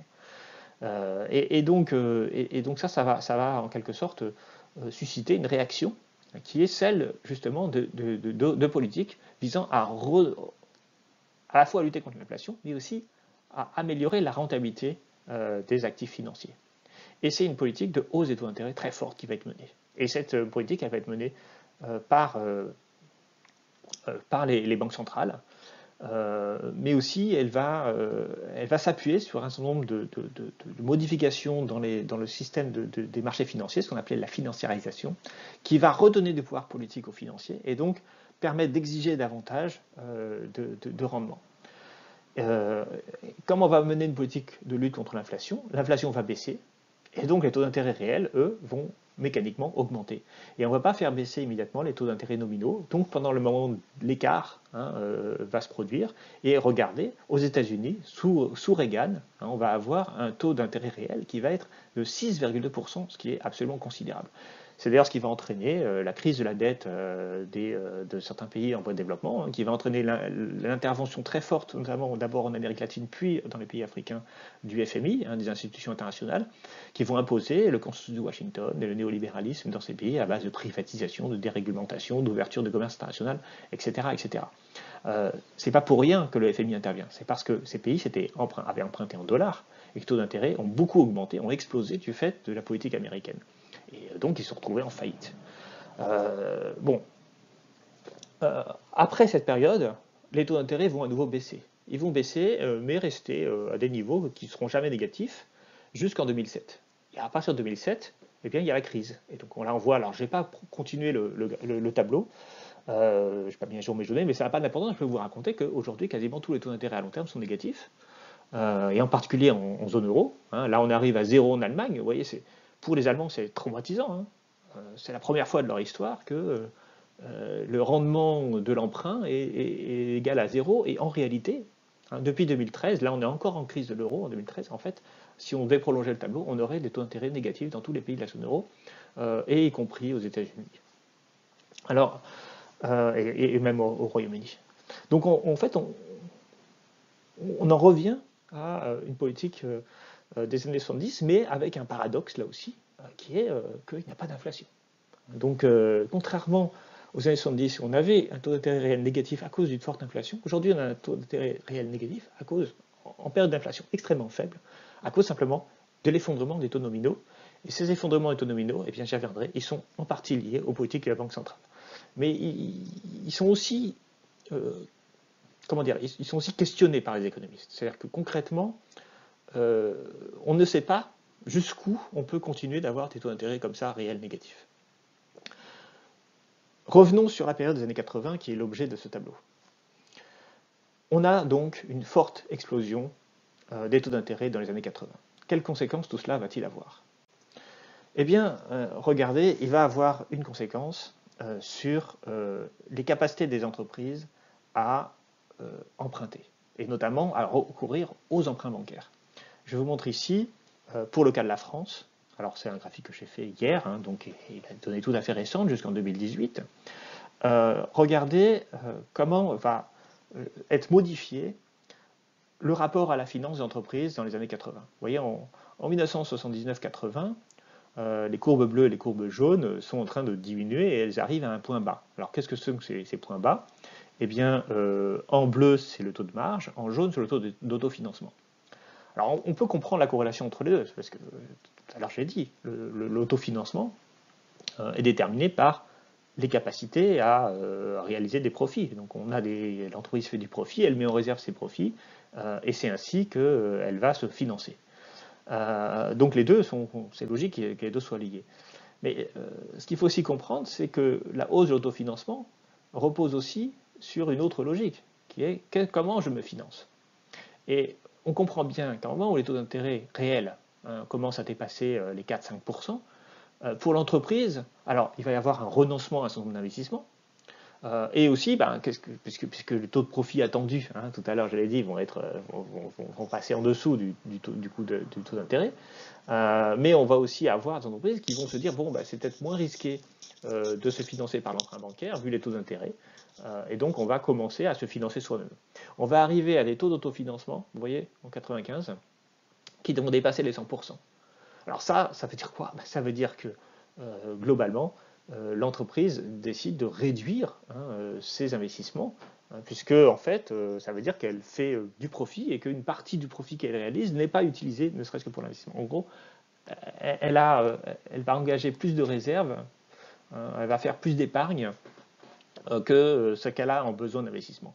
Donc ça, ça se traduit, vous voyez, par à la fois par un choix de recourir plus à l'autofinancement qu'au euh, financement bancaire, mais ça se traduit en fait, en, réalité, par une baisse euh, du niveau d'investissement des entreprises. Euh, les marges s'expliquent aussi par la politique menée actuellement, enfin menée à ce moment-là, de, taux d'intérêt élevés. Parce que du point de vue des investisseurs boursiers, parce qu'on va en même temps déréglementer la bourse, du point de vue des, investisseurs boursiers, on a toujours le choix entre acheter des actions et acheter des obligations. Lorsqu'on augmente les taux d'intérêt, de fait, le niveau des actions va augmenter. Alors je vous demande juste une minute. Je vous présente euh, Igloo, voilà. Igloo qui va me faire tomber l'ordinateur. Et donc, voilà, je suis obligé de le pousser. Euh, ça serait dommage que, tout s'effondre et que ma vidéo doive s'arrêter. Que euh, bref, revenons à notre truc. Donc, du point de vue des marchés financiers, vous avez les taux d'intérêt qui sont extrêmement élevés. donc, vous exigez de la part des actions euh, euh, d'avoir des taux de rentabilité qui sont aussi importants euh, que les taux d'intérêt auxquels on, vous donne. Hein, n'oubliez pas que les taux d'intérêt dont je vous ai parlé tout à l'heure, c'est les taux d'intérêt sans risque, c'est-à-dire les taux d'intérêt publics. Lorsque vous prêtez à une entreprise, bah, vous attendez à ce que le taux d'intérêt soit supérieur à ce taux sans risque. Donc vous pouvez avoir des entreprises qui, qui, donc, lorsqu'elles veulent émettre des obligations, vont devoir promettre des taux d'intérêt de 7, 8, 9, 10%. Euh, selon le risque euh, estimé par les, industriels. Euh, et donc ça veut dire que si vous avez le choix entre mettre de l'argent dans les obligations qui vous rapportent, je dis n'importe quoi, mettons 10% de taux d'intérêt réel, ou d'acheter des actions, bah, si les actions vous rapportent 5% en termes de dividendes, ce n'est pas une bonne affaire. donc vous n'allez pas acheter des actions. Donc le cours de l'action va baisser. Si le cours de l'action baisse, mécaniquement, Hein, euh, le, rendement, le dividende par action euh, va augmenter. Et donc ce qui va se passer, c'est que les entreprises, eh bien, elles vont être soumises à euh, la contrainte hein, de, profitabilité qui va leur être imposée par les investisseurs, qui pourront toujours décider plutôt d'acheter des obligations publiques sans risque plutôt que d'acheter des actions d'entreprise. des obligations publiques sans risque. Je ne sais pas ce que j'ai dit. et donc, voilà. Et donc, les entreprises sont en fait contraintes à augmenter leur taux de marge.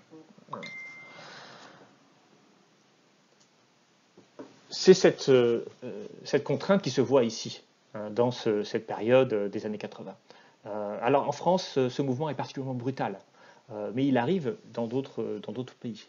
Si on augmente les taux de marge, ça va avoir une implication politique. Dans la politique économique euh, de l'entreprise, il va falloir favoriser le capital, favoriser l'actionnaire au détriment du travail et de ses salariés. C'est le moment aussi en France, on va le voir dans, les diapos d'après, où euh, la part salariale dans, dans l'entreprise va baisser. on va d'abord rémunérer le capital et ensuite on va rémunérer les salaires. Donc, euh, l'autre phénomène qu'il faut euh, analyser, euh, c'est aussi le phénomène de, mondialisation. alors, la mondialisation, c'est l'idée d'organiser une forme de grand marché mondial, notamment sur tout ce qui circule, c'est-à-dire à la fois, bien sûr, les marchandises, mais aussi, évidemment, le capital. Alors, les politiques de Reagan et Thatcher, qui vont être suivies, en fait, hein, par d'autres pays, et même on pourrait dire, qui ont été euh, euh, en partie euh, mises en œuvre par un certain nombre de responsables politiques français. Alors, il y a un, article, je ne l'ai plus en tête, hein, mais assez connu, qui montre qu'en fait, la mondialisation, et notamment la libéralisation de la finance, doit beaucoup à des hauts fonctionnaires français, alors qu'en dessus, hein, qui, était directeur du FMI à l'époque, mais on a aussi Pascal Lamy, on a aussi Jacques Delors en Europe, Hein, euh, ces, grands fonctionnaires euh, français euh, ont organisé la dérégulation financière dans le monde et la libéralisation des marchés de capitaux. libération des marchés de capitaux et libération des marchandises, on verra qu'il y a un lien entre les deux. C'est-à-dire que la mondialisation commerciale, elle est en partie forcément liée à la mondialisation financière. du point de vue de ce qui nous intéresse ici, c'est les politiques de hausse des taux d'intérêt. Quelles conséquences ça euh, Eh bien, ça, couplé à cette libéralisation des marchés de capitaux, ça entraîne une intensification de la concurrence. Tout à l'heure, j'ai dit la concurrence entre, euh, entre obligations et actions, entre prêts et euh, financement d'investissement et achat de capital, et donc les exigences de rentabilité des, entreprises qui augmentent. mais il faut bien concevoir qu'à partir du moment où on libéralise les mouvements de capitaux, et c'est ce qu'on va faire dans les années 80 en même temps, eh bien, il va aussi avoir une concurrence territoriale. Si les taux d'intérêt sont euh, de 15%, euh, ou les taux de rendement de, l'action sont de 15% aux États-Unis, euh, moi, actionnaire français, je vais arrêter d'acheter des actions d'Alcatel, par exemple, ou d'autres entreprises françaises, et je vais commencer à acheter des actions aux États-Unis. et donc, chaque pays va se trouver confronté à, pour financer l'investissement de ses propres entreprises, à, à subir cette concurrence internationale.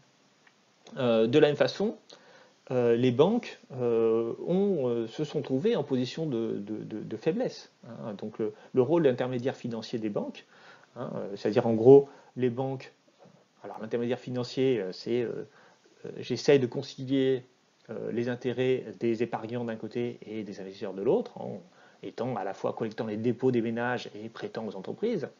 et bien maintenant, ce qui va se passer, c'est que les entreprises elles vont avoir intérêt de plus en plus à se financer par le marché, vu euh, le, coût des, euh, taux d'intérêt.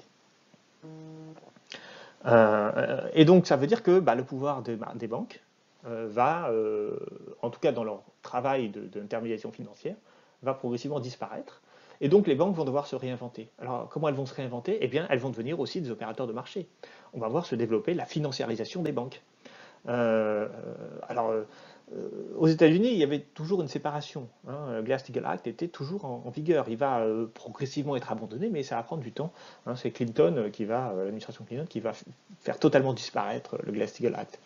en France, on a une séparation moins forte et donc les, banques elles-mêmes ont commencé à, enfin la loi bancaire de 45 a été elle aussi amendée régulièrement, mais au final, on va avoir le développement de ce qu'on appelle la banque généraliste, c'est-à-dire euh, une banque qui va avoir des salles de marché, qui va proposer euh, euh, justement ces, montages financiers aux entreprises pour aller se financer auprès des marchés, et, qui va maintenir son rôle d'intermédiaire financier. Et là aussi, quand on parle de financiarisation, il faut bien comprendre que ça, touche une partie importante de l'économie, c'est-à-dire essentiellement les grandes entreprises et les grandes entreprises industrielles. Euh, ça va pas forcément toucher les PME qui, elles, euh, euh, n'auront pas le choix et continueront bien sûr de se financer auprès des banques. et d'ailleurs, les banques vont bien en profiter puisque ça sera finalement, elles seront en position de force. C'est-à-dire qu'elles sont l'interlocuteur privilégié d'une PME qui ne peut pas décider de mettre en concurrence la banque avec la finance de marché. donc, les, banques vont se, transformer, elles vont changer. Alors en France, on va voir la banque universelle, c'est-à-dire elle va euh, faire son activité d'intermédiation financière, elle va euh, ouvrir des salles de marché, euh, collecter l'épargne, non pas uniquement pour des dépôts et des crédits, mais pour investir dans des, ce qu'on appelle des OPCVM, j'y reviendrai, c'est-à-dire des organismes de placement collectif en valeur mobilière. elle va aussi faire de l'assurance. Alors là aussi, il va falloir adapter la législation pour que euh, tout d'un coup les banques euh, fassent de l'assurance. Et vous voyez qu'aujourd'hui, hein, vos assureurs, c'est votre banquier. Euh, voilà, on rachète. donc on a, des banques en, France qui sont massives. Hein, et d'ailleurs, ça pose aussi des problèmes parce que toutes nos grandes banques sont systémiques. Ça veut dire que si elles s'effondrent, toute l'économie, tout le système bancaire européen et voire mondial s'effondre aussi. ce qui pose évidemment des problèmes. Dans les pays où on a gardé un réseau bancaire de petites banques, les choses sont, moins graves. Euh, dans les pays anglo-saxons, les banques vont se réinventer aussi en se tournant plutôt vers le crédit au ménage. Alors ça tient aussi au fait que les pays anglo-saxons se désindustrialisent très vite. Euh, aux États-Unis, la désindustrialisation à partir des années 80, elle est, massive.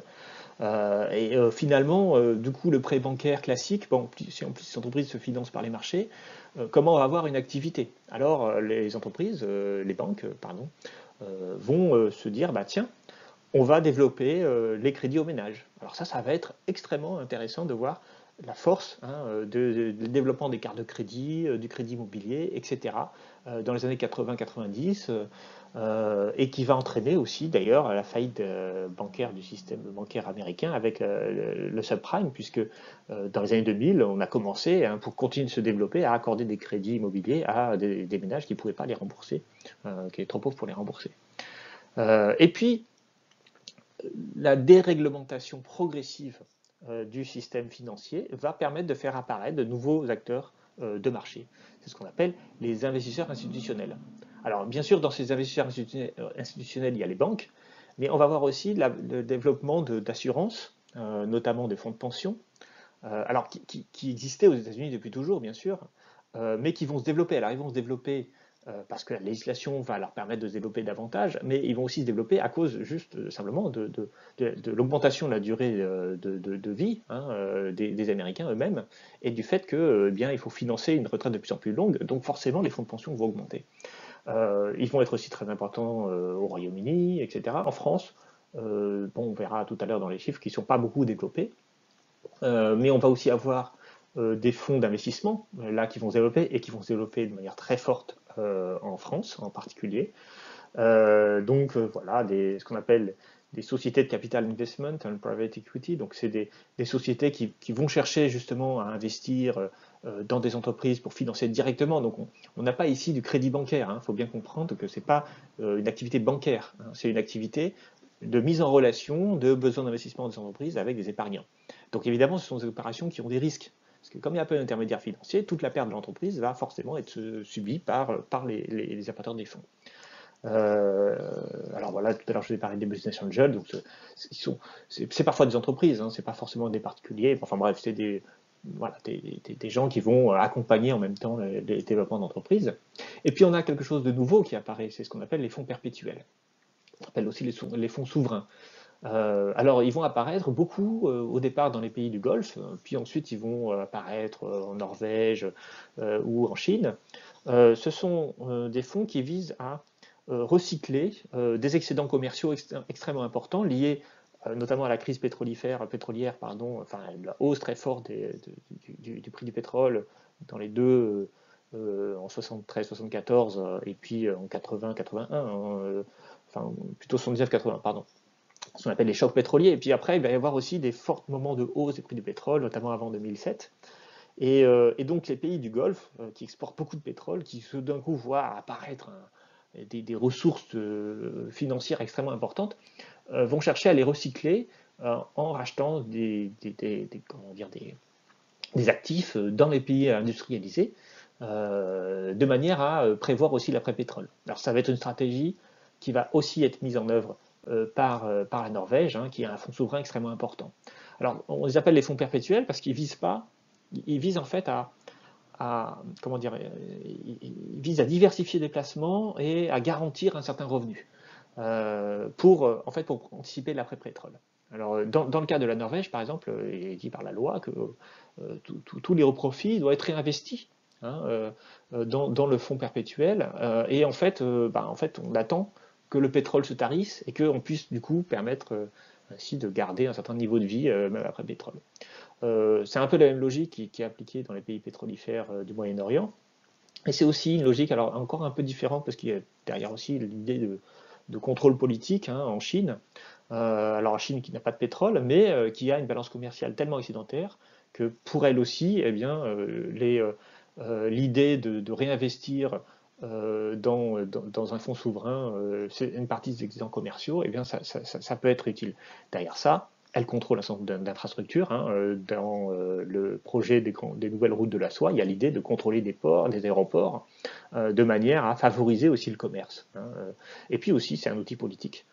quand la Chine rachète les options publiques américaines, eh bien, elle peut aussi dire aux États-Unis, écoutez, voilà, si vous commencez à, à nous embêter euh, avec des droits de douane, nous, euh, bien, on revend toutes nos obligations et vous allez voir vos taux, vos taux d'intérêt hein, qui vont beaucoup augmenter. Donc, euh, derrière la stratégie chinoise, il n'y a pas qu'une idée de sécurisation des revenus, hein, comme ça peut l'être pour les pays pétrolifères, mais il y a aussi une stratégie hein, d'utiliser ces fonds souverains pour, pour, pour,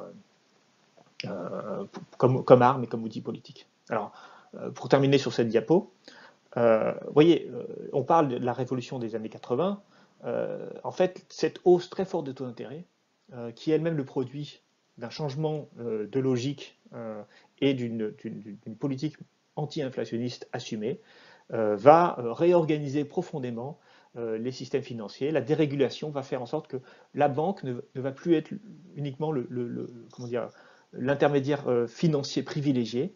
on va voir se développer d'autres systèmes financiers. Les excédents commerciaux, j'y reviens tout à l'heure aussi, massifs dans certains pays, va entraîner aussi l'apparition de, fonds perpétuels. Euh, voyons comment euh, cette transformation euh, du rôle de la banque se voit dans la structure de bilan des grandes banques commerciales. Alors, ce tableau vient de, la macroéconomie financière d'Aglietta. Hein, je n'ai pas mis la source, j'aurais dû le mettre. donc, d'une édition antérieure à la dernière, sur laquelle je reviendrai. Euh, puisqu'elle s'arrête en 2008. Mais euh, c'est bien parce que pour nous, on a besoin de voir les transformations post-1980. Euh, alors quand on regarde ici la, France et l'Allemagne, on voit que les banques eh bien, ont une activité de prêt qui globalement baisse un peu. pas tant que ça, hein, mais vous voyez qu'on est à 40% entre 80 on va dire et 95. Euh, après, on est à 36 et à 35 pour le cas de la France. Et puis ensuite, on remonte un peu au début des années 2000. Et puis en 2008, on est quand même plus qu'à 31. Euh, de la même façon, euh, on va voir l'importance, la hausse très forte des valeurs mobilières. Alors qu'est-ce que c'est que les valeurs mobilières? Ben, C'est les achats d'actifs, c'est-à-dire obligations, actions, de titres négociables. et donc là, on est passé de 7,7 pour le cas de la France à 20,3 et 21,7 en 2008. évolution similaire en Allemagne, avec une baisse relative des prêts. Alors vous voyez qu'en Allemagne, les prêts sont plus importants. Là aussi, ça tient au capitalisme rénan. Euh, bon, là, on mélange un peu entreprises et particuliers, hein, c'est pas non plus très, clair. Euh, et une hausse euh, parallèle de la valeur mobilière.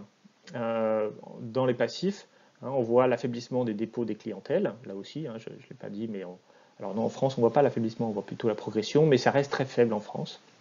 Et la hausse des, des obligations, qui sont là aussi des titres négociables. Donc la financiarisation se voit en partie. Alors vous voyez d'ailleurs que c'est intéressant parce que euh, globalement euh, on n'arrive pas à 100% ici hein, dans l'actif et le passif parce qu'il y a aussi beaucoup les prêts interbancaires qui sont très importants dans cette période. on va voir d'ailleurs qu'ils eh ben, vont beaucoup baisser, enfin pas le voir parce que malheureusement je n'ai pas cette donnée là ici sur le graphique, hein, mais sur ce tableau, mais, mais globalement euh, après la crise 2008, les banques vont arrêter de se prêter entre elles et, elles vont limiter au maximum les engagements entre elles. Mais à cette époque-là, avant la crise 2008, on est sur des engagements extrêmement importants. Donc beaucoup d'actifs et de passifs sont en fait des actifs et des passifs liés euh, au prêt des secteurs, des, des, banques entre elles, hein, très souvent. C'est pour ça qu'on a, on a une, globalement une totalité qui n'arrive pas à 100. Alors, euh, dans le cas du, du, Japon et des États-Unis, euh, on, voit des systèmes un peu différents.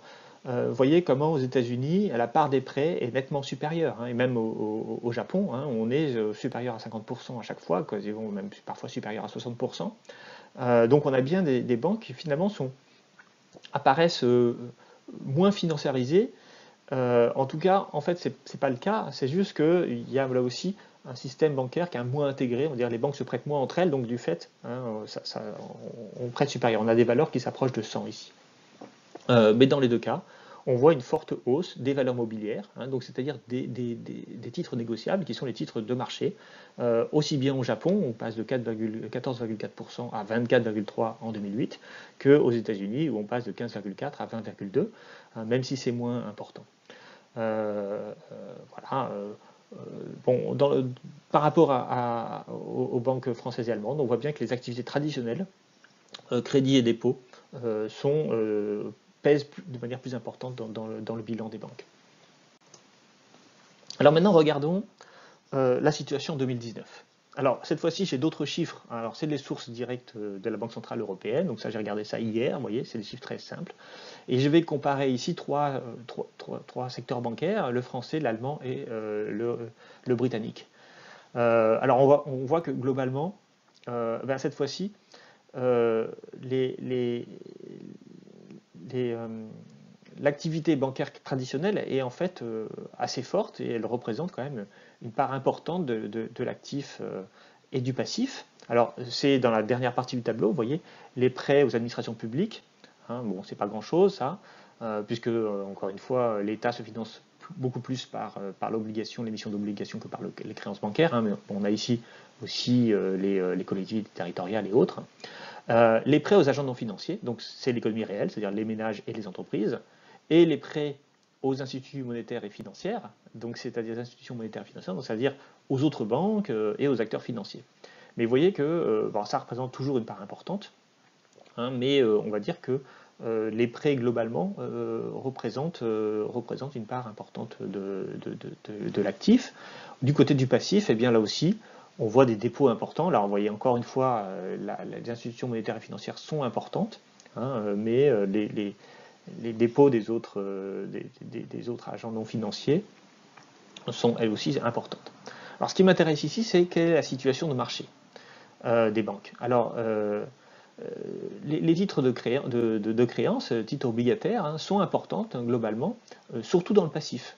C'est-à-dire que, qu'est-ce que ça veut dire? Bah, Ça veut dire que les, les, banques se financent beaucoup par l'émission d'obligations.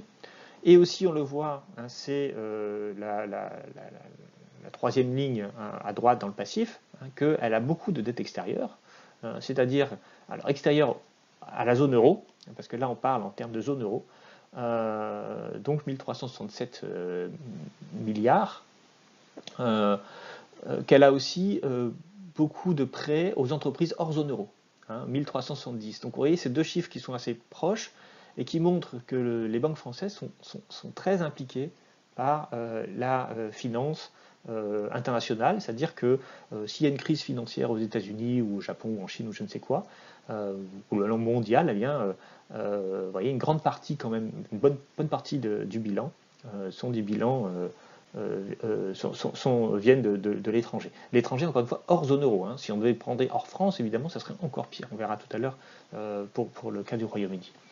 voyez aussi qu'en passif, hein, le capital et les réserves, c'est-à-dire ceux qui permet d'éponger, on va dire, les pertes que subissent par une banque sont en fait assez faibles. Hein. ils représentent, vous voyez, par rapport au bilan, euh, une part très faible, hein, moins de 10%.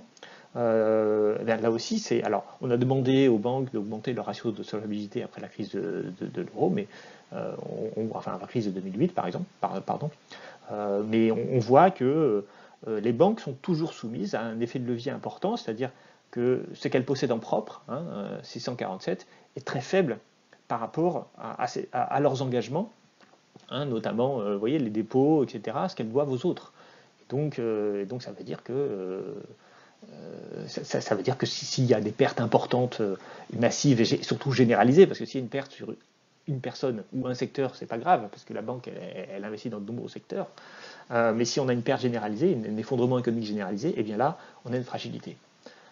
Alors bien sûr, je pense à ce qui se passe en ce moment. Euh, il est clair que euh, la crise du coronavirus risque d'entraîner un, fort problème pour, les, banques, les, banques mondiales, en fait, les banques dans le monde entier, puisqu'elles ne peuvent pas absorber des pertes trop importantes. D'où, d'ailleurs, le fait que si l'État intervient pour aider les entreprises, c'est effectivement pour aider les entreprises, mais c'est aussi pour aider les banques. Euh, on a vu ce qui s'est passé en 2008, lorsque les banques s'effondrent, elles ne prêtent plus d'argent de fait, et euh, toute l'activité économique s'arrête. Donc il ne faudrait pas que derrière la crise, euh, la crise économique, la crise du secteur réel, il y ait aussi une crise bancaire qui dégénère en nouvelle crise a, posteriori. Donc garantir la solvabilité des entreprises et empêcher qu'elles fassent faillite, c'est absolument une nécessité aujourd'hui, hein, puisque de toute façon les banques ne pourront pas absorber les faillites. Alors maintenant, oui, ça c'est, euh, pardon, c'est le, j'ai oublié que j'avais ça, c'est l'activité traditionnelle des banques. Hein. Euh, voyons maintenant le secteur bancaire euh, allemand. Alors en 2019, donc même moment, hein, à la fin, au 31 décembre 2019, on voit, première remarque par rapport au secteur bancaire français, c'est qu'on est à 8300 alors qu'on était à, à, 9000 pour la France. Donc bien que l'économie allemande soit euh, à la fois, les, Allemands sont plus nombreux, ils sont 80 millions, euh, euh, le PIB allemand est bien plus important que le PIB français, mais par rapport à l'économie, ben, le secteur bancaire allemand est en fait plus petit que le secteur bancaire français. Hein, bon, pas beaucoup plus petit, mais un peu plus petit. bon, voyons que le, ratio capital-réserve et réserve sur, sur le total est à peu près identique, hein, c'est-à-dire que les Allemands n'ont pas des banques qui vont faire face à beaucoup plus qui peuvent faire face à beaucoup plus de prêts, euh, de pertes, pardon. Euh, voyons aussi que euh, l'activité traditionnelle, hein, ici donc les trois dernières lignes, on va dire, dépôts de l'État, des, autres, des autres agents non financiers et, et, prêts aux administrations publiques et aux agents non financiers, tout ça qui correspond à l'activité bancaire classique, eh bien, est très important, plus important que pour la France. Euh, et donc relativement, euh, qu'est-ce qui va changer? Eh Les dettes extérieures vont être très faibles. On était à 1300 tout à l'heure euh, pour l'extérieur. On est à 669 en termes de passifs et 1035 en termes d'actifs. Alors là aussi, ça, démontre que globalement, les banques allemandes, en France on était à peu près équilibré, au même niveau à 3 milliards près, euh, je, vous permets de regarder le, diapo de tout à l'heure. Je ne peux pas malheureusement revenir en arrière dans le cadre de cette vidéo, mais euh, on voit ici que là, il y a un déséquilibre pour l'Allemagne. Cet équilibre, il est lié au fait que, euh, et on va le voir aussi, que globalement l'Allemagne est épargnante, c'est-à-dire qu'elle dégage dans son économie une épargne importante qu'elle va placer à l'étranger, et en particulier hors de la zone euro. et donc, eh bien, elle possède plus d'actifs à l'étranger qu'elle ne doit d'argent vis-à-vis des étrangers. Euh, donc ça, c'est intéressant. Alors cet argent de quel doit, ça peut être des dépôts de la part de non-résidents, ça peut être plein de choses. Hein. Ça peut être évidemment des, emprunts qu'elle a contractés auprès d'autres banques. Euh, voilà, euh, globalement, c'est tout ce qu'on peut dire. Passons maintenant au secteur britannique. Alors ici, ce n'est pas le secteur bancaire, je ne l'ai pas trouvé, on ne le calcule pas de la même façon c'est le secteur des institutions monétaires et financières. Alors évidemment, ça inclut les banques, euh, mais c'est un peu plus large que simplement les banques. Euh, alors constatons déjà qu'on a globalement un secteur bancaire et financier qui est un peu supérieur à celui de la France, mais pas beaucoup plus supérieur. Moi, je m'attendais à plus que ça. Euh, on est à 1409. Euh, bon, évidemment, la différence principale avec les autres, c'est euh, la relation extérieure. Hein, parce que tout à l'heure, on a dit que la relation extérieure, c'était hors zone euro. Bon, bah là, la relation extérieure, hein, c'est en dehors du territoire britannique, alors tout ce qui n'est pas en livres sterling. Euh, et donc là, on a quelque chose de bien plus important, 1332. Hein, on était à 1300, 1632, pardon, on était à 1300 pour la France. voyons aussi que Là aussi, ça peut paraître surprenant pour un pays qui est en déficit commercial, mais il a aussi une tradition, euh, va dire, euh, hein, il reste encore sur une tradition de puissance industrielle euh, importante et que globalement le secteur bancaire britannique possède plus d'actifs auprès des entreprises étrangères qu'il n'a de dette vis-à-vis des étrangers. voilà. Voyons aussi que les prêts aux autres institutions monétaires et financières et les dépôts des autres institutions monétaires et financières, ici 1137 750, sont en réalité assez faibles. Alors euh, maintenant, euh, ce que je voudrais voir, c'est euh, donc, une fois qu'on a vu les banques, c'est les nouveaux acteurs financiers et leur influence, c'est-à-dire ce qu'on appelle les investisseurs institutionnels. Alors, dans les investisseurs institutionnels, il y a bien sûr les banques, mais cette fois-ci, ce n'est pas l'activité traditionnelle de la banque, c'est-à-dire l'activité dépôt-crédit, mais c'est l'activité en tant qu'acteur de marché, c'est-à-dire sa capacité à acheter euh, euh, des, actions, des obligations, des titres négociables et à investir en quelque sorte en bourse. Il n'y a pas que les banques. il y a aussi les fonds de pension, les compagnies d'assurance. Alors ici, on parle, quand je dis banque, je parle banque lorsque elles, ont cette activité-là, qui est l'organisme qui, est des, des, créer des OPCPM, hein, c'est-à-dire des, euh, c'est marqué ici, les organismes de placement collectif. Hein. Euh, ça peut être des SICAV euh, ou des, fonds communs de placement. alors, ça veut dire quoi? Ça veut dire que les banques, au lieu de vous faire un compte dépôt, en quelque sorte, elles vont vous faire un, bah, PEA, ça peut être, ou, d'autres formes plus sophistiquées ouvrir des, comptes dans lesquels elles vont utiliser, elles vont gérer votre argent pour euh, investir sur les marchés financiers. Donc c'est ce qu'on appelle les organismes de placement collectif. Euh, très très souvent c'est fait par les banques, euh, ça peut être fait, alors les SICAV peuvent être des, sociétés qu'on peut acheter directement, on peut acheter directement les actions en bourse et vous, n'avez pas besoin pour cela de passer forcément par une banque, même si globalement pour acheter hein, aujourd'hui en bourse il faut souvent passer par un intermédiaire qui est souvent la banque. autre investisseur institutionnel extrêmement important, ce sont les compagnies d'assurance. Alors là aussi, petite explication. Les assureurs, euh, assurance immobilier, euh, enfin assurance habitation, pardon, assurance auto, etc., euh, leur, activité, c'est de mettre de l'argent en réserve pour faire face aux sinistres que les gens ont. Bien sûr, ils ne mettent pas suffisamment d'argent en réserve pour couvrir l'ensemble des sinistres, parce qu'ils partent du principe que sur un parc automobile qu'ils assurent, bien, il y a un petit pourcentage qui chaque année va avoir des accidents. Mais ce pourcentage peut varier. Hein, il peut y avoir des catastrophes naturelles, il peut y avoir des, années plus accidentogènes, etc. Donc ils ne peuvent pas aussi considérer ça uniquement comme un flux et ne prendre de côté, euh, enfin, et, quelque part, euh, avoir peu d'argent pour, euh, pour, pour, payer les, les, dégâts. Ils ont besoin d'avoir quelque part de l'argent en réserve pour pouvoir assurer les, les, remboursements lorsque des sinistres apparaissent. Et donc les assureurs, eh bien, ils gagnent de l'argent a priori, sur les cotisations que vous leur versez, et ils en perdent lorsqu'ils doivent rembourser des sinistres. Euh, mais en fait, euh, une partie des gains financiers qu'ils font, c'est des gains qu'ils réalisent sur les placements euh, de, l'épargne qu'ils ont pour faire face aux sinistres. Et, donc, bah, en fait, comme ils ont beaucoup d'argent parce qu'ils assurent énormément de, de choses, c'est-à-dire qu'ils assurent une valeur extrêmement importante, donc ils doivent garder en réserve, on va dire, une part importante quand même, enfin, une part faible en proportion, mais importante en quantité, euh, de milliards d'euros euh, pour faire face à ces, euh, à, ces besoins. Et donc, et donc qu'est-ce qu'ils font? Ben, Ils investissent, ils placent cet argent de manière à gagner de l'argent là-dessus. Et quelque part, l'une des raisons pour lesquelles finalement les, cotisations qu'on vous demande euh, sont en fait assez faibles. Hein, euh, donc ce, que, vous devez payer en termes d'assurance sont en fait assez faibles par rapport à ce que vous bénéficiez en globalement en tant que remboursement, parce que euh, l'assureur devient une forme d'intermédiaire aussi financier et il, va gagner de l'argent.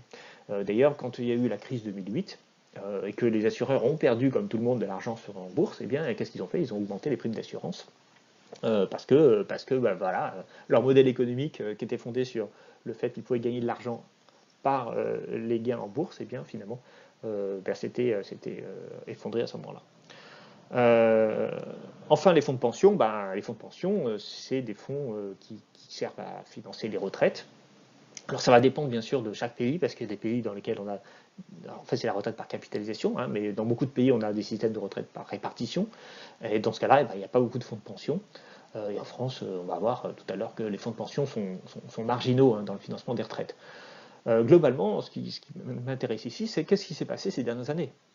Alors là aussi, les chiffres s'arrêtent en 2011, mais bon, c'est pas très grave. Ce qui compte, c'est de voir l'évolution. Hein. et l'évolution jusqu'à la crise, eh bien, c'est une évolution de forte croissance de ces investisseurs institutionnels. Hein. Pensez que, donc là, on a les pays de l'OCDE, on avait donc euh, tous, ces, euh, tous, ces fonds dont je viens de parler étaient inférieurs à, 10 000 milliards hein, de dollars. Hein, c'était la valeur euh, de leur encours, c'est-à-dire de ce qu'ils possédaient. Et puis on arrive, vous voyez, à monter au-dessus de 20 milliards, entre 20 et 30 milliards pour ces, trois, types d'investisseurs institutionnels. Donc une forte progression. Cette progression, elle, est liée au fait que ben, la, finance de marché s'est développée régulièrement. Donc les, les, gens, si vous voulez, ils préfèrent euh, épargner, euh, voilà, ils arrêtent d'épargner euh, des, comment dire, en ayant des dépôts ou en, faisant des, des, livrets A ou des choses comme ça. et ils commencent beaucoup plus à acheter en bourse. Donc pour cela, ben, ils, ouvrent des, enfin, ils placent des, des, dans des, dans des OPCVM, nos organismes de placement collectif. voilà, et les banques et les assureurs eux-mêmes trouvent plus intéressant de gagner de l'argent sur la bourse, et, etc., etc. Alors, euh, on, peut montrer aussi comment ça se passe dans chaque pays. Alors, ces graphiques sont tirés du dernier, euh, alors je ne l'ai pas malheureusement parce qu'il avait eu et qu'il avait eu fermé, mais euh, du dernier livre de Michel Aglietta et Natacha Valla, publié en 2017, Macroéconomie financière, donc les éditions à la découverte. Donc, ce graphique-là précédent, il, était aussi tiré de ce, manuel en quelque sorte, et les graphiques suivants, donc celui-là aussi. Alors ici, ça montre, bah, encore une fois, la financiarisation. Mais cette fois, on, la présente donc en termes de stock euh, global. On additionne les courbes qu'on a vues tout à l'heure pour essayer de voir combien ça fait au total. Et on compare avec l'évolution du PIB. Et en fait, ce qu'on va voir, c'est que dans tous les pays qu'on va regarder, la France, les États-Unis, l'Allemagne, le Japon, euh, eh bien, il y a euh, le même phénomène, qui est que, on va dire, le, comment dire, la part des, actifs financiers euh, détenus par les investisseurs institutionnels croît plus vite que le produit intérieur brut. Alors, euh, élément d'explication. Euh, donc, nous avons donc un graphique avec deux, trois axes, hein, c'est-à-dire un axe horizontal, le, temps, donc ça c'est classique, mais on a aussi deux axes verticaux, hein, puisqu'on a deux choses. Et on va donc se permettre, de voir l'évolution globale des deux. Hein, du PIB et euh, des totales des actifs détenus. Alors en billions de dollars, alors attention, billions c'est pas euh, milliards, hein, comme en anglais, c'est 1000 milliards. Euh, donc ça veut dire qu'on part, vous voyez, d'un total d'actifs, donc c'est l'échelle de, c'est l'axe de gauche, de à peu près au total 22, on va dire 23 milliards, enfin 23 000, attendez, oui c'est ça, 23 000 milliards de dollars en 99 aux États-Unis, et on arrive, vous voyez, à un peu plus de 60 euh, 000 milliards au total. Euh, le PIB, c'est l'échelle de droite. Alors, il est en milliards, euh, en 1000 milliards, donc on arrive à, à 5000 milliards, mais attention, euh, c'est pas précisé dans le graphique, mais du coup, moi je me suis interrogé, c'est bien le PIB trimestriel dont il s'agit ici. Peu importe, que ce soit trimestriel ou annuel, c'est juste que ça permet de faire des variations plus, plus fines dans la courbe.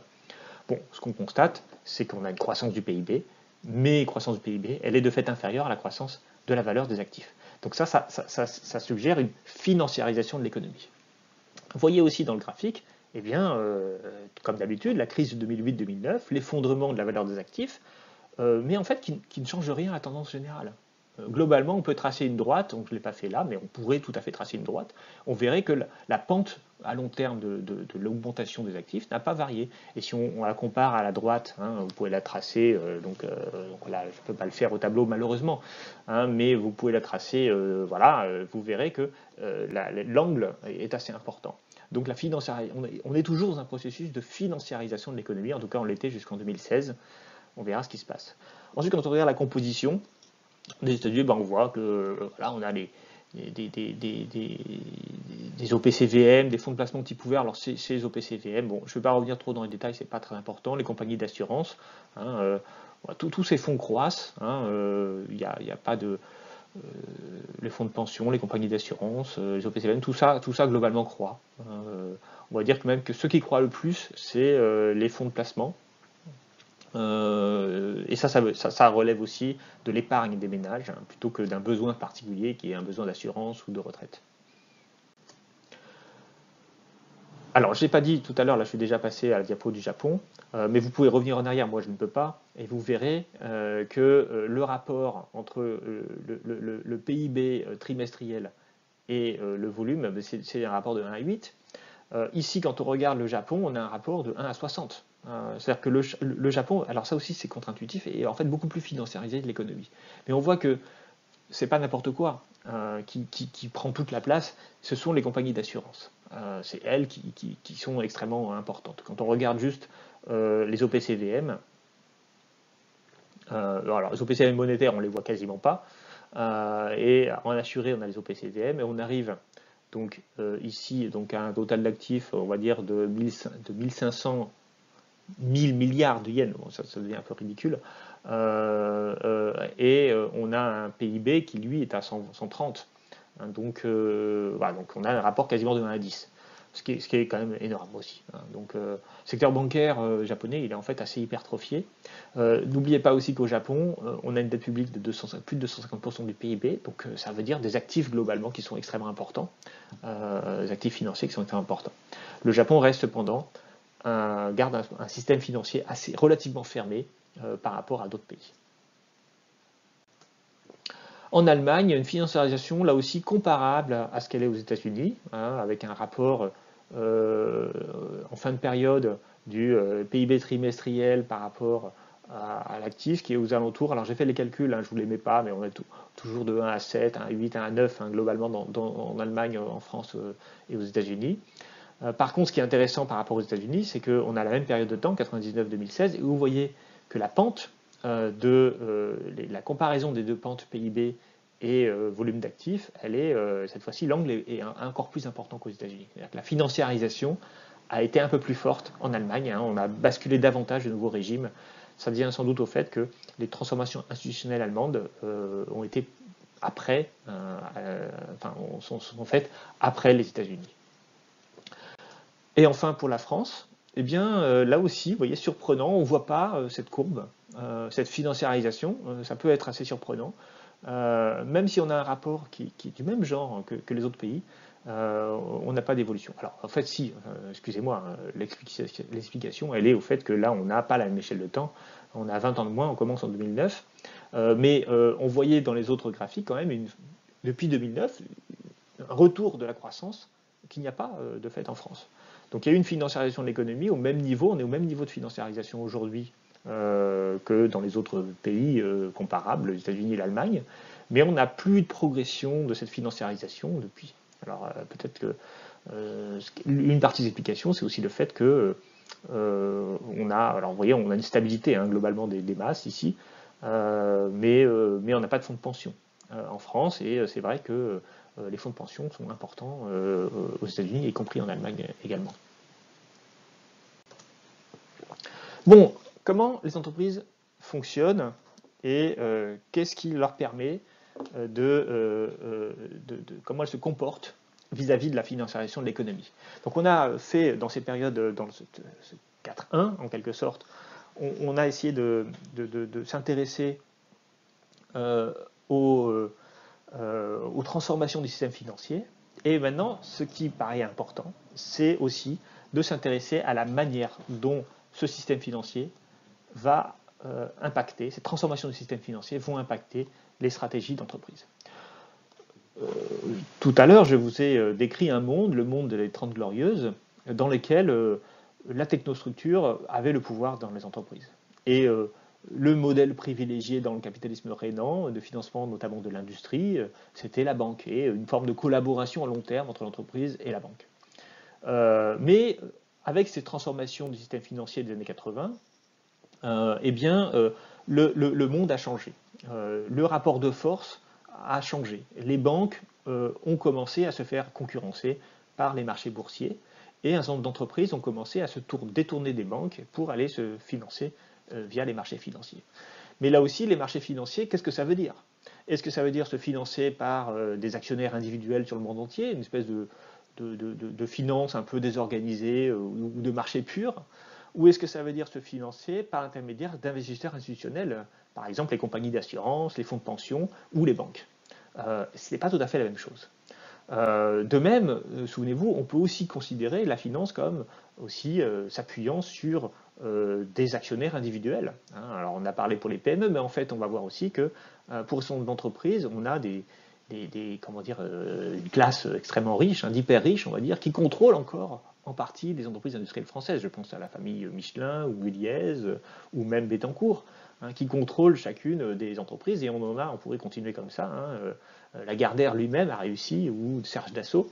ce sont à la fois des, PDG, euh, mais, en même temps, ce sont aussi des propriétaires, ou en partie, ils possèdent en partie leur, propre entreprise. Donc ça veut dire que euh, globalement, euh, les entreprises ne vont pas se gouverner de la même façon, se, diriger de la même façon, selon la manière dont elles trouvent des sources de financement. Euh, et, donc, pour essayer de comprendre cette relation entre système de financement et pouvoir économique, et donc stratégie d'entreprise, eh bien, je vous propose de revoir, alors là aussi, dans très brièvement et de manière un peu superficielle, parce que ce n'est pas l'objet de faire un cours là-dessus, l'analyse de Michel Aglietta. Alors, Michel Aglietta, c'est un économiste français, euh, polytechnicien. Euh, maintenant, il est, euh, je crois est dans la retraite de, l'université, mais il continue d'écrire, d'être très actif et d'écrire, de publier beaucoup de livres. Et, lui, donc, il est aussi l'un des, économistes qui a participé au développement d'une théorie économique qui s'appelle l'école de la régulation. Alors, la régulation, elle est diverse, hein, mais elle s'intéresse à la manière dont les institutions agissent sur l'économie et l'économie sur les institutions. C'est l'idée euh, que, va, en fait, l'économie n'est pas euh, abstraite, hein, elle est concrète, c'est-à-dire qu'elle est en interaction permanente avec la société. Et donc, la thèse de Michel Aglietta, c'est que les modèles de financement vont euh, entraîner un, champ, un, contrôle de l'entreprise différent, et donc la transformation de ce système de financement vont entraîner une, transformation du système de contrôle et donc de la stratégie de l'entreprise. Alors il, distingue euh, quatre grandes formes de contrôle. Le contrôle interne euh, et la supervision des créanciers. Alors ça, c'est le capitalisme rénant, c'est-à-dire le contrôle interne, c'est la, technostructure, hein, c'est du, Galbraith hein, typique. Euh, les créanciers, bah, ce sont les banques. Hein. Les banques, qu'est-ce qu'elles font? Elles supervisent de loin en laissant la technostructure globalement disposer des manettes et et employer une stratégie qui vise plutôt à maximiser le chiffre d'affaires plutôt qu'à maximiser le taux de profit. Maintenant, si l'entreprise est financée uniquement par le marché boursier, alors là, elle va avoir, et on va voir tout à l'heure, un autre comportement. Euh, si elle est euh, contrôlée par des familles qui possèdent des blocs d'action importants, là aussi, elle va être sous un contrôle et dans une logique différente.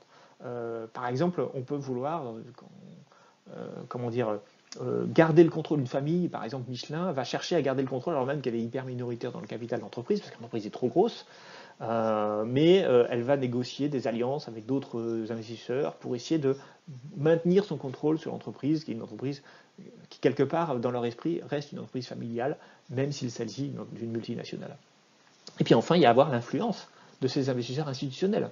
Comment eux-mêmes vont gérer euh, des entreprises alors même qu'ils en possèdent euh, des euh, dizaines de milliers sous la forme de titres diversifiés hein, qui n'ont pas fonction en fait de prendre le contrôle au sens strict de la gouvernance d'entreprise, hein, mais qui servent en fait pour eux à leur assurer un certain rendement.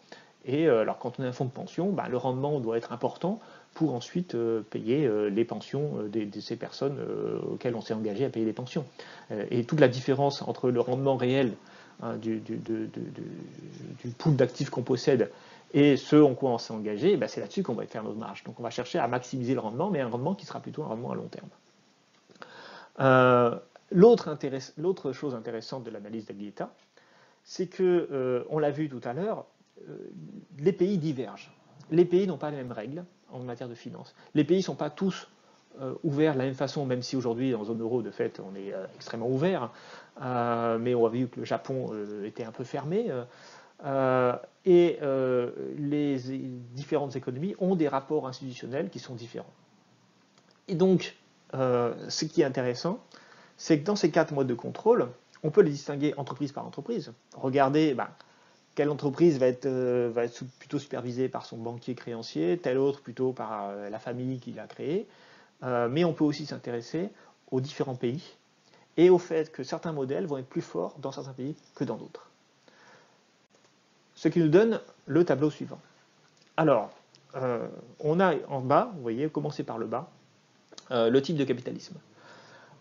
Là aussi, l'idée d'Aglietta, c'est une idée euh, qui n'est pas née avec Aglietta, hein, qui a été beaucoup, beaucoup développée dans certain nombre d'ouvrages et d'intellectuels, c'est que le capitalisme, on ne peut pas le, conjuguer au singulier. on ne peut pas conjuguer le capitalisme, ce n'est pas un verbe, mais peu importe. On ne peut pas, voyez, c'est ça l'impro, hein. on ne peut pas euh, analyser le capitalisme comme étant euh, quelque chose qui est immuable, qui a toujours été la même chose, euh, qui, a Certes, il y a un certain nombre de fondamentaux du capitalisme, mais bon, je ne vais pas y revenir ici, ça demanderait tout un cours en soi. Mais en fait, il y a des modalités d'application du capitalisme qui peuvent être différentes d'un pays à l'autre. Et, et, donc, on peut identifier des modèles capitalisme en regardant la manière dont la finance ou dont le système financier des entreprises va se transformer en mettant en avant différents types de financement privilégiés, euh, qui sont eux-mêmes privilégiés parce que les institutions du pays font qu'on va plutôt se financer de telle ou telle façon. Pensez que dans les institutions, il y a bien sûr tout ce qui est légal, tout ce qui est droit, tout ce qui est système bancaire. Hein. Euh, par exemple, en France, je dire, on a une grande banque universelle, donc forcément, ça va avoir un impact hein, sur la manière dont les banques vont prêter. Mais le système, le système, euh, les, systèmes institutionnels, ça peut être aussi simplement des systèmes culturels. On n'a pas le même rapport de l'argent en Allemagne et en France on n'a pas la même. Par exemple, un truc tout, bête, mais en Allemagne, euh, on paye beaucoup en liquide.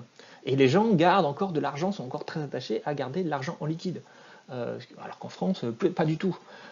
et donc, ces, conceptions intellectuelles, culturelles, ces spécificités d'un pays à l'autre, ils vont aussi déterminer qu'on va plutôt privilégier tel ou tel mode de capitalisme. et puis il va y avoir aussi des effets retours, c'est-à-dire que le système financier va aussi avoir un impact sur les visions des gens eux-mêmes. Donc tout ça pour vous expliquer que euh, d'un pays à l'autre, le capitalisme peut être un peu différent. Et, d'ailleurs, c'est parfois ces différences qui, montrent la complexité parfois qu'on peut, avoir lorsqu'on veut euh, euh, s'organiser collectivement pour gérer une crise, par exemple, ou une crise financière. Bref, je reviens sur le tableau ici. Donc on a quatre types de capitalisme, hein, dans, la, ligne du bas. Le capitalisme corporatiste, le capitalisme prédateur, le capitalisme élite financière et le capitalisme actionnaire universel. Alors ça, c'est les mots d'Aglietta. Et donc, alors j'ai simplifié un peu le tableau, hein, qui est un peu plus compliqué que ça euh, dans son livre, mais euh, bon, je, veux aussi le, présenter de la manière la plus pédagogique possible et avec un temps qui est, limité. Et, donc ces capitalismes, eh bien, ils sont associés à un mode de contrôle. Contrôle interne, contrôle par marché boursier, contrôle par les détenteurs de blocs d'actions, contrôle par les investisseurs institutionnels. Et donc à chaque fois qu'on a un mode de contrôle lié au mode de financement, eh bien, on va avoir des objectifs euh, une organisation euh, et euh, une influence de l'environnement qui, va être différent. Alors, reprenons les, les, quatre capitalismes. Commençons par la forme de capitalisme, on va dire, qui était la plus généralisée dans, la période des Trente Glorieuses. En fait, voilà, le, capitalisme du nouvel État industriel. Alors, c'est un contrôle interne. Alors, ça veut dire le contrôle de la technostructure. Quel est l'objectif euh, euh, de, la société? Et sur quoi on va baser son évaluation. C'est-à-dire qu'est-ce qu'on va lui donner comme, comme objectif à remplir et comment on va considérer que ces objectifs sont remplis. Euh, dans le cas de la technostructure, on l'a dit tout à l'heure, c'est une croissance soutenable, donc on ne va pas s'effondrer à long terme, avec l'idée derrière, c'est pas dit ici, de maximisation des chiffres d'affaires, et on va partager le profit en interne entre salariés, euh, actionnaire, euh, mais surtout en fait euh, en interne. En fait, l'actionnaire, il va pas avoir une grande, importance dans le système. Le conseil d'administration et les dirigeants sont contrôlés par qui? Eh bien, c'est la technostructure qui va en quelque sorte avoir suffisamment d'influence hein, pour faire en sorte de, mettre des personnes liées à cette technostructure à la tête des entreprises. Euh, quelle est l'influence de l'environnement? Eh bien, c'est la dette, puisqu'on est endetté, et donc il faut qu'on continue de garder cette confiance avec son banquier, euh, et donc on va chercher à développer des relations de long terme avec les banques. Euh, deuxième, deuxième capitalisme, alors là, c'est le capitalisme qui serait totalement marché. Alors, il est appelé par Michel Aglietta le capitalisme prédateur. en fait, il n'existe pas de, pays où ce capitalisme existe de manière dominante. En fait, euh, c'est-à-dire que là aussi c'est une forme théorique. Ça va exister dans certaines entreprises, mais complètement, même les États-Unis, euh, le Royaume-Uni, etc. Ne sont pas dirigés euh, uniquement par, par contrôlés par le marché boursier. Mais imaginons donc une entreprise qui aurait un actionnariat complètement dispersé, aucun grand actionnaire, aucun, euh, euh, euh, investisseur, aucune banque pour la financer, se finance uniquement par l'émission d'actions, aucun intermédiaire en quelque sorte. Elle est directement confrontée à l'Assemblée générale des actionnaires qui décide souverainement. C'est pour ça que je vous dis que c'est quelque chose qui n'existe pas, parce que en fait, ça, n'existe jamais. L'Assemblée générale des actionnaires n'arrive jamais à imposer quoi que ce soit aux entreprises. Elle est souvent contrôlée par, par des gens des intermédiaires. Mais, qu'est-ce que veut l'actionnaire individuel? Lui, il s'en fiche complètement de l'entreprise. Il peut revendre à tout moment son action. Il n'est pas engagé à long terme avec l'entreprise, contrairement aux salariés, à la technostructure ou même à la banque. Euh, donc, ce qu'il veut, c'est une maximisation du rendement total des actions sur le marché boursier. Euh, il veut que l'entreprise fasse monter le cours de bourse, parce que ça va lui donner plus de pouvoir, plus d'argent. Il va donc nommer des administrateurs indépendants. Et indépendant, ça veut dire quoi? Ça veut dire indépendant on n'est jamais indépendant, hein. on doit toujours rendre des comptes à quelqu'un. Là, l'administrateur OCA, il est indépendant vis-à-vis de l'entreprise. C'est-à-dire qu'il est vraiment extérieur, il n'est pas un produit de la technostructure. C'est donc l'inverse total du, contrôle interne. Quelle est la crainte euh, du dirigeant d'entreprise? Qu'est-ce qu'il va chercher à faire? Son problème, c'est l'OPA. Euh, en fait, ça veut dire qu'à tout moment, l'offre publique d'achat, à tout moment, euh, un investisseur peut arriver et dire voilà, je rachète en masse toutes les actions de son entreprise, donc c'est ce qu'on appelle une OPA. Euh, et dans ce cas-là, qu'est-ce qui va se passer? Eh bien, il va perdre son poste. Euh, donc, il veut empêcher, une OPA hostile. Et donc, pour ça, il faut qu'il maintienne un cours de bourse, toujours le plus important. Et il faut qu'il maintienne aussi une liquidité sur euh, le marché, c'est-à-dire qu'il émette suffisamment d'actions pour que, les, et puis avec une valeur importante, pour que les actionnaires puissent à tout moment revendre comme ils le souhaitent leurs actions. Donc en fait, c'est une entreprise qui est vraiment au service de l'actionnaire euh, et qui se fiche absolument de considérations de long terme a priori, euh, puisque en fait, elle est dirigée par des gens qui n'ont aucune considération de long terme. Donc concrètement, l'intérêt de l'actionnaire, c'est de pouvoir revendre à, tout moment son action euh, et empocher son, bénéfice. il n'est pas engagé à long terme avec l'entreprise. Alors les choses vont être un peu différentes dans les deux dernières formes de capitalisme, qu'on pourrait considérer comme des formes un peu intermédiaires, mais en réalité, qui ont aussi leur logique propre. Euh, détenteurs par les euh, contrôle par les détenteurs de blocs d'actions. Alors ça, c'est un peu le capitalisme français, c'est-à-dire le capitalisme élite financière, le capitalisme euh, des 200 familles en quelque sorte, c'est-à-dire d'industriels qui, qui, se connaissent bien, qui se soutiennent mutuellement, qui s'achètent souvent les actions des uns des autres, qui se nomment les uns les autres aussi au conseil d'administration. Quel est leur objectif? Euh, bah, En fait, eux, ils sont engagés dans leur entreprise. C'est-à-dire qu'ils ne vont pas l'abandonner à tout moment, euh, revendre leurs actions. Pour des raisons euh, qui peuvent être pas des raisons économiques d'ailleurs. c'est mon papa ou mon grand-père qui a créé cette entreprise, je ne vais pas la sabrer et faire n'importe quoi. parfois, ils font quand même n'importe quoi, mais ce n'est pas de leur faute. C'est juste qu'ils sont. Bref. Arnaud Lagardère expliquait qu'il était. Non, attends, Arnaud enfin le, dernier Lagardère, il expliquait qu'il préférait être considéré comme incompétent plutôt que, malhonnête. C'était assez intéressant. Bref, peu importe. Euh, donc, quel est l'objectif de ces, de, ces entreprises ou Quels objectifs on va assigner à ces entreprises lorsqu'on est une famille euh, d'actionnaires importants? Euh, Alors, REO stable, donc c'est Return on Equity, hein, c'est-à-dire on veut une rentabilité élevée, stable, on va avoir le contrôle euh, centralisé du cash flow, c'est-à-dire qu'en fait, on, va chercher aussi à,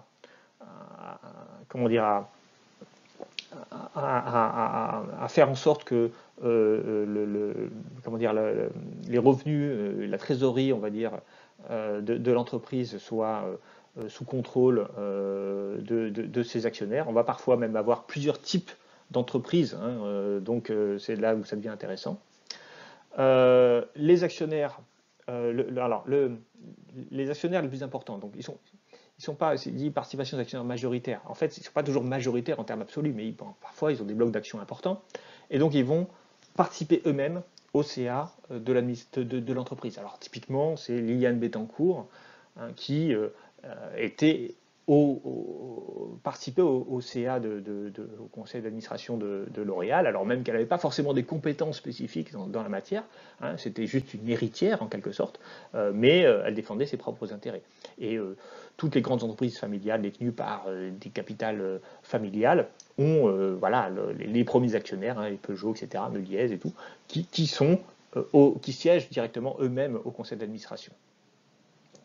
L'influence de l'environnement, euh, ben, on cherche à isoler l'entreprise du marché boursier. Et ça aussi, il faut comprendre que bien sûr qu'on a besoin du marché boursier, qu'on est obligé, que, les, blocs d'actions sont, pas, parfois les, actionnaires qui possèdent des, actions, une part importante du capital de l'entreprise, en fait, c'est très rare qu'ils possèdent la majorité du capital. Donc, ils ont besoin des boursiers. Mais ils vont faire en sorte de diluer suffisamment euh, le capital pour que, avec 20, 25% ou 30% euh, de, des actions, eh bien, on peut quand même contrôler l'entreprise. Euh, le, va chercher à faire pression, donc le conseil d'administration va chercher à faire pression sur l'entreprise dans sa stratégie, hein, voilà, pour, pour maximiser justement le, return on investment. Hein, donc, donc, il va y avoir une forme de collaboration entre l'actionnaire familial qui détient beaucoup d'actions et, euh, et l'entreprise qui passera par le CA, qui est le lieu où se rencontre en fait le dirigeant d'entreprise hein, euh, et, euh, et, les représentants des blocs d'action. Enfin, dernier type de capitalisme, bien, le capitalisme qui est géré par les investisseurs institutionnels. Et les investisseurs institutionnels, eux, ils sont dans une logique qui est encore particulière. Ils ont besoin de maximiser la valeur à long terme de l'entreprise. contrairement aux actionnaires individuels, même si globalement ils ne sont pas attachés à une entreprise individuels, je veux dire, euh, contrairement aux détenteurs de blocs d'action ou à la technostructure. Euh, ils ont dans leur euh, portefeuille des, milliers, des dizaines de milliers d'entreprises différentes sur de différents pays.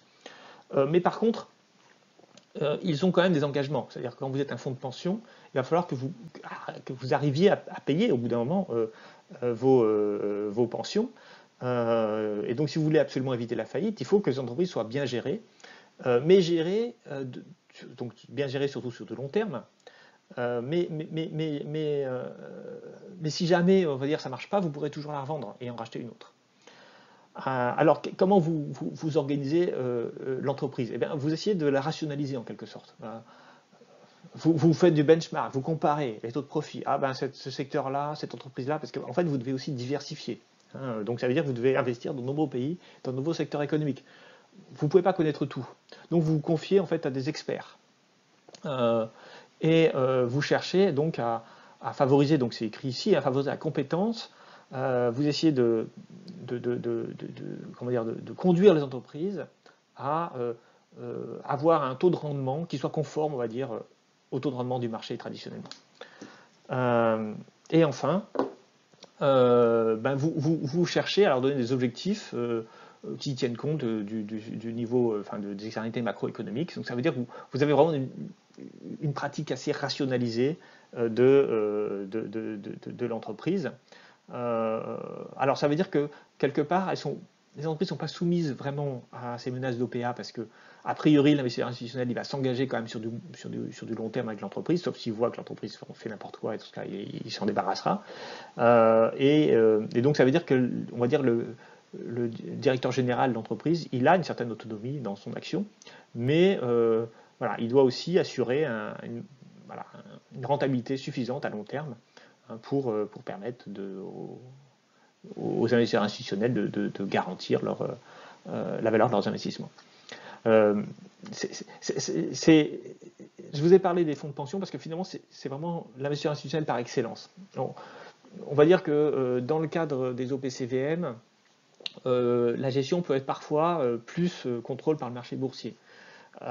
c'est une des raisons pour lesquelles beaucoup en France veulent développer les fonds de pension, parce que finalement c'est assez sécurisant aussi pour les entreprises d'avoir des investisseurs qui sont quelque part des partenaires de long terme.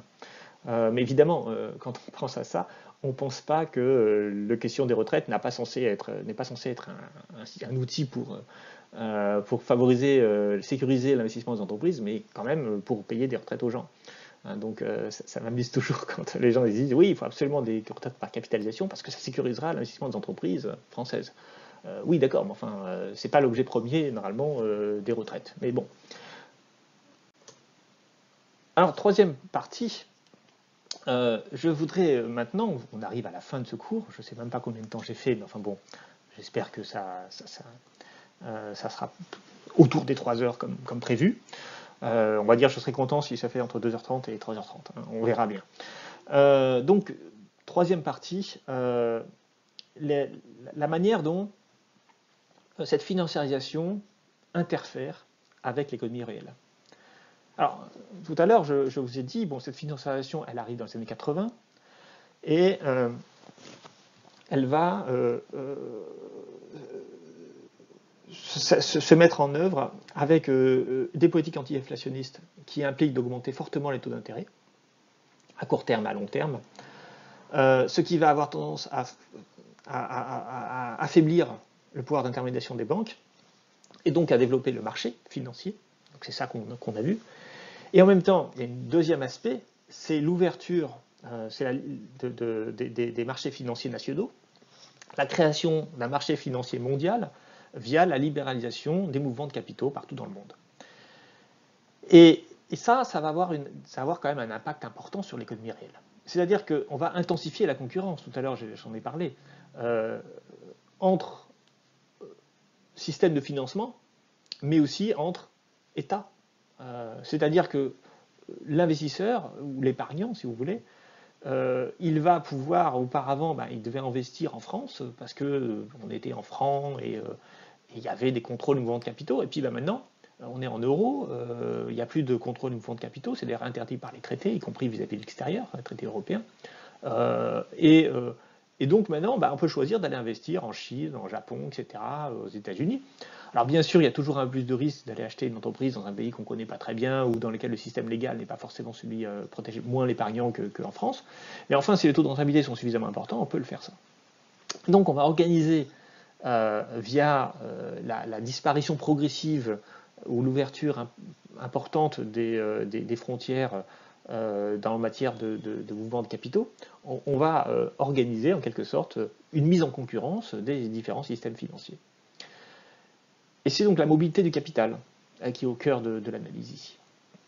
Et cette mobilité de capital, eh bien, elle augmente les exigences de rentabilité. Mais ce qu'il faut bien comprendre, c'est que cette mondialisation de l'économie, elle n'est que partielle. Le capital est mobile, les épargnants peuvent choisir d'aller investir dans tel pays ou dans tel autre pays, ou dans tel continent ou dans tel autre continent, ou de telle façon ou telle façon, donc ils sont libres. Mais en même temps, si on reprend sur l'analyse de l'entreprise, qui est l'association du capital du travail, euh, l'autre facteur de production qui est lui le travail, lui, il n'est pas mondialisé. Euh, lui, il a encore des frontières à passer. Euh, on a beau dire, oui, oui, on supprime les frontières, mais en réalité, on n'a jamais supprimé les frontières. certes, en Europe, il y a l'espace Schengen, il n'y a plus de frontières pour les mouvements des personnes, mais ce n'est pas du tout le cas euh, pour le travail euh, vis-à-vis de pays hors, euh, hors, zone euro, enfin hors espace Schengen et hors, surtout hors Union européenne. Donc le travail est en fait beaucoup moins mobile que le capital, de point de vue simplement légal. Hein. Il faut avoir un permis de travail pour aller travailler dans un autre pays. Mais même, même si on, supprimait les permis de travail, et même si on permettait tout le monde de venir, ce qui en réalité n'arrivera jamais, le capital, le travail n'est pas mobile aussi parce qu'il s'agit de gens, de personnes qui ont une vie, euh, qui ont une maison, qui, euh, du coup, euh, même en passant d'une région à l'autre, en France, c'est compliqué. Hein. vous perdez votre emploi dans l'industrie en Picardie. bon, si, si, on, vous propose un poste, je ne sais pas, dans une autre région française, mettons dans le sud de la France, euh, mais que vous êtes marié et que votre femme, gagne votre homme, euh, euh, enfin bref, la personne, votre conjoint travaille ailleurs et vos enfants sont scolarisés quelque part, comment vous allez faire pour partir vous tout seul Voilà, et donc et vous avez acheté votre maison, etc. Donc le, travail, en fait, est toujours moins mobile parce qu'en fait, le travail, ce n'est pas une marchandise en réalité. Le travail, c'est un outil de revenu pour des gens qui ont des vies. Et donc, euh, ça veut dire que le capital, lui, il peut aller s'investir où il veut, parce qu'il suffit de quelques clics pour, placer de l'argent où on veut. Euh, le travail, lui, euh, ne peut pas se déplacer comme il veut, parce qu'il s'agit de vraies personnes. et donc, ça veut dire que le rapport de force entre capital et travail va évoluer. Et on voit bien les conséquences de cette évolution. perte de pouvoir de négociation du travail, et gain de pouvoir de négociation du capital.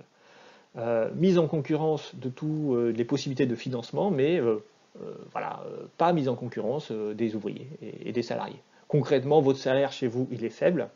Hein, vous gagnez, vous êtes, je ne sais pas, euh, bulgare. En Bulgarie, euh, le moyenne du, coût du travail moyen, c'est 5 euros de l'heure. Hein, et là, et concrètement, le revenu réel, c'est 2 euros. Euh, bon, bah, vous pourriez venir facilement en France où les salaires sont plus élevés, sauf que concrètement, bah, c'est compliqué de partir de chez soi. Et encore ici, hein, on est en Bulgarie, on est dans l'espace européen. vous ne pouvez pas, quand vous êtes en Côte d'Ivoire, vous ne pouvez pas aller venir vous installer en France, même si les salaires sont des fois plus élevés. Et, donc ça, ça, veut dire que la concurrence, bien, en fait, les salariés ne peuvent pas la faire. Ils ne peuvent pas dire, ah ben, écoutez, soit euh, vous me payez plus, soit je, vais ailleurs. Alors que le capital, lui, peut le faire. Et donc le rapport capital-travail euh, va entraîner, euh, cette transformation financière va entraîner un déséquilibre du rapport capital-travail. Alors, il y a eu un débat important en 2009 sous Sarkozy qui était de dire ah, la, part la part salariale a beaucoup baissé. Alors c'est vrai, on va le voir tout à l'heure. Et donc on a demandé à Cotis, hein, euh, donc, euh, qui a écrit un rapport euh, publié en 2009, qui montre effectivement que oui, hein, les années 80 ont été des années de, je vais vous montrer tout à l'heure la courbe, d'effondrement du, rapport capital et travail.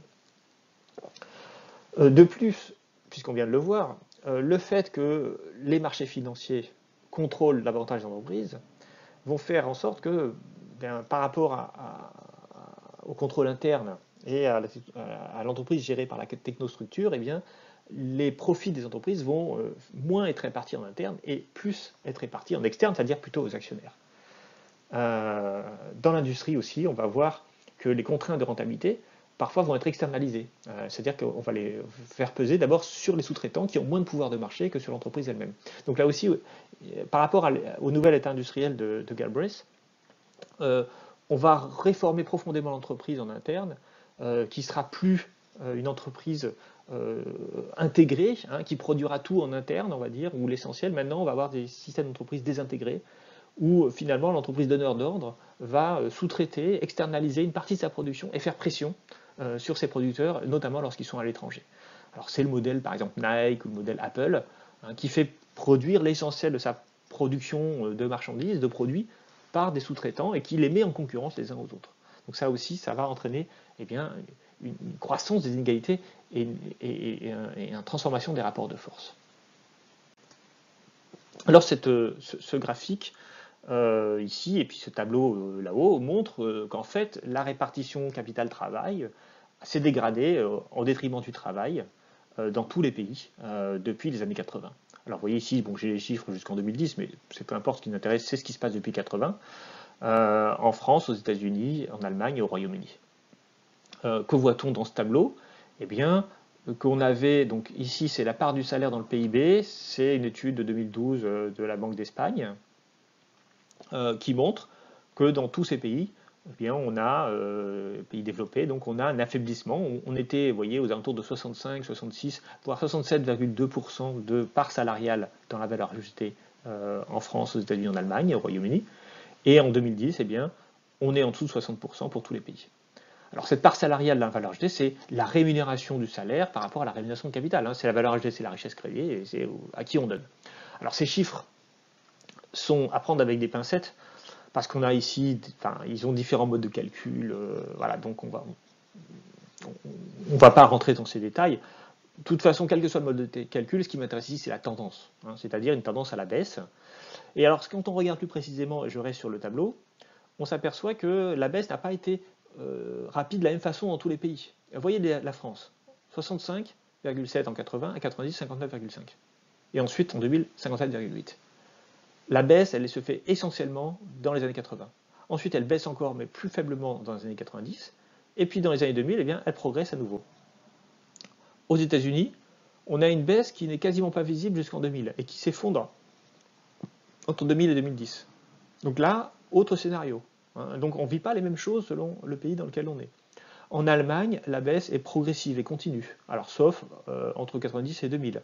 Alors, ça vient aussi peut-être euh, de la réunification.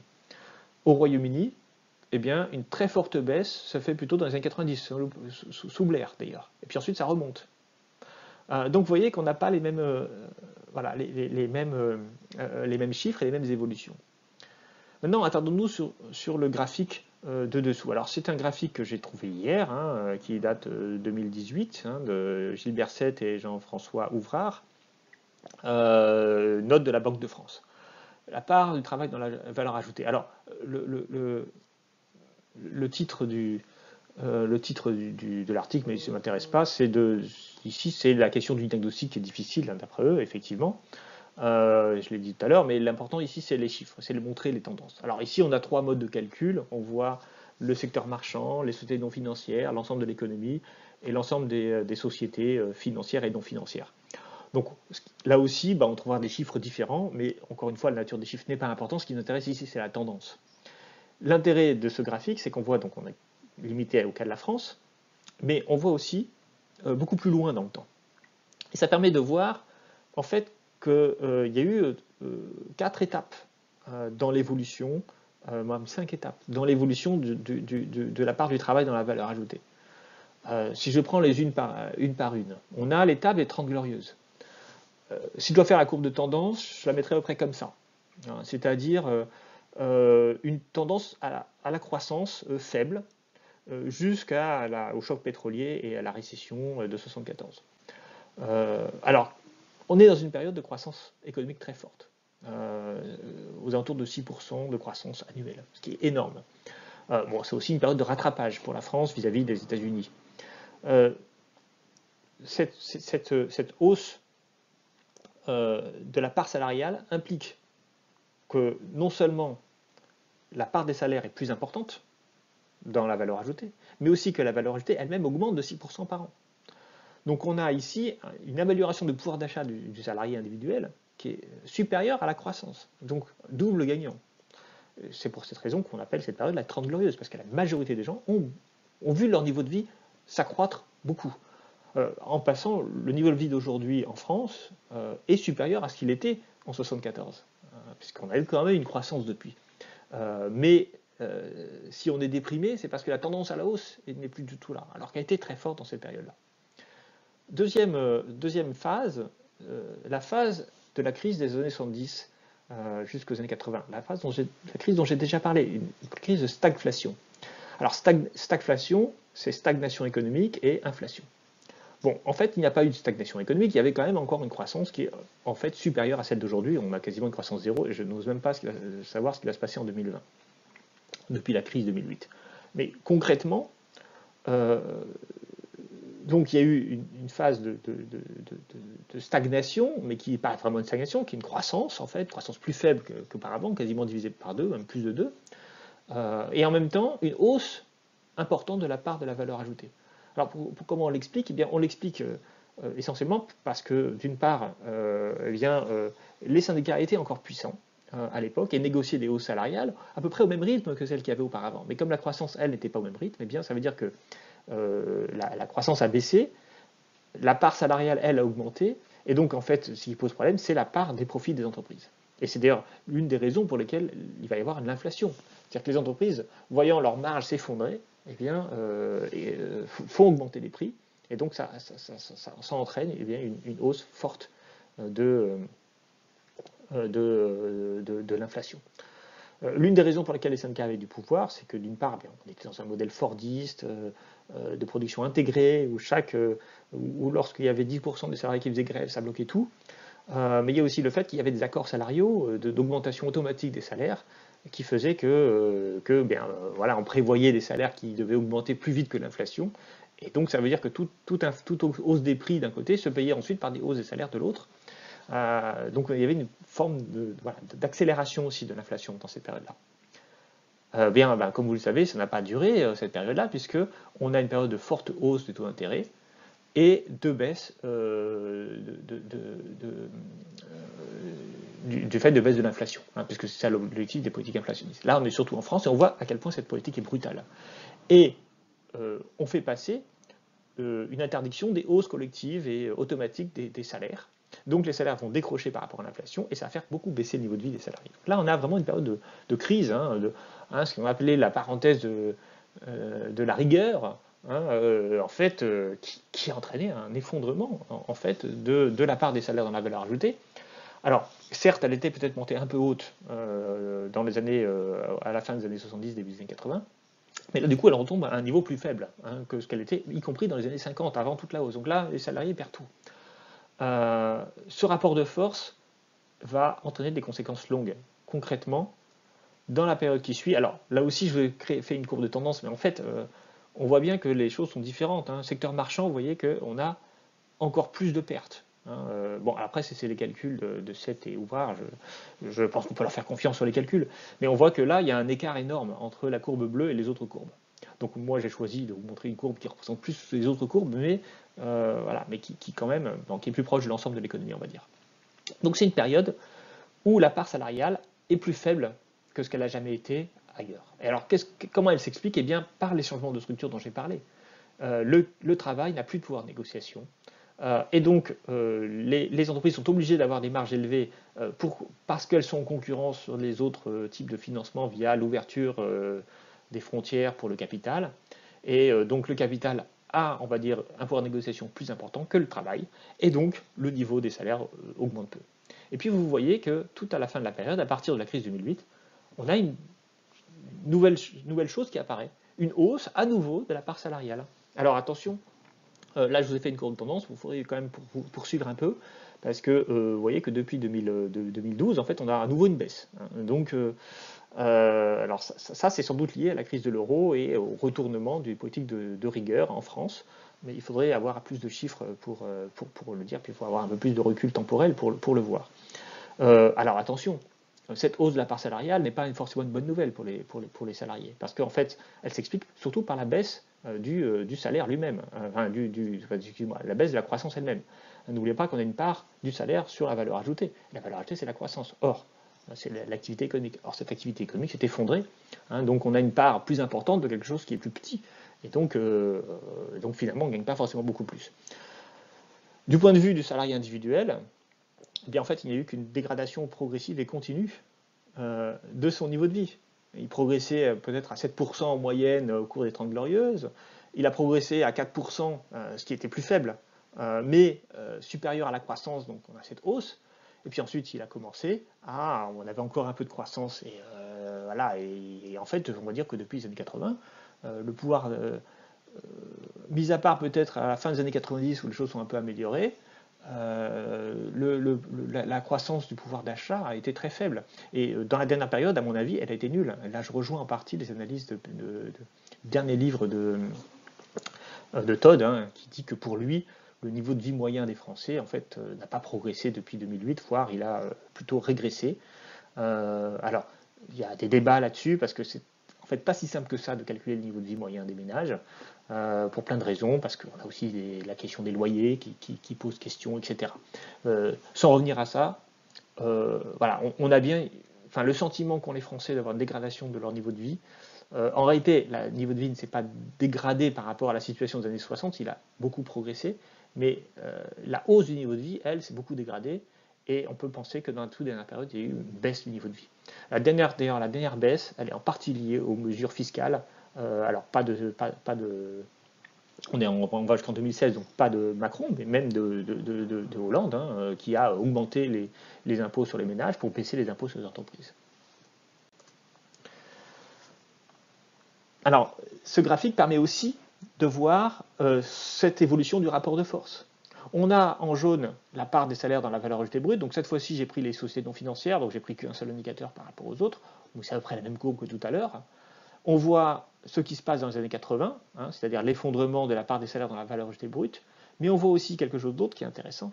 C'est la part des revenus distribués par rapport à l'excédent brut d'exploitation des entreprises. Et on voit, vous voyez, euh, donc en, quelque sorte, euh, ce que font les entreprises de leurs revenus. Est-ce qu'elles réinvestissent ou est-ce qu'elles le distribuent? Eh bien, elles choisissent depuis les années 80, depuis la fin des années 80, de le redistribuer de plus en plus. Euh, on est sur, euh, euh, alors attention, c'est l'échelle de gauche, hein, on était sur un peu moins de 20% des, de l'EBE qui était distribué, et on est monté à 70% au moment de la crise 2008. On voit d'ailleurs qu'il y a eu une baisse hein, de cette, cette, part de revenus distribués après 2008, donc là aussi un changement voilà, et de la même façon qu'on a une hausse de la part de la valeur ajoutée. On a d'ailleurs des, courbes hein, qui clairement s'opposent. Hein. donc là, on est dans Marx, on est dans la confrontation capital-travail. On voit aussi une autre conséquence, euh, qui est celle des inégalités. Alors là, je prends euh, le livre de Piketty, Le Capital au XXIe siècle, euh, un graphique extrêmement connu hein, de Piketty. Alors pourquoi il est connu? Parce qu'il est très intéressant.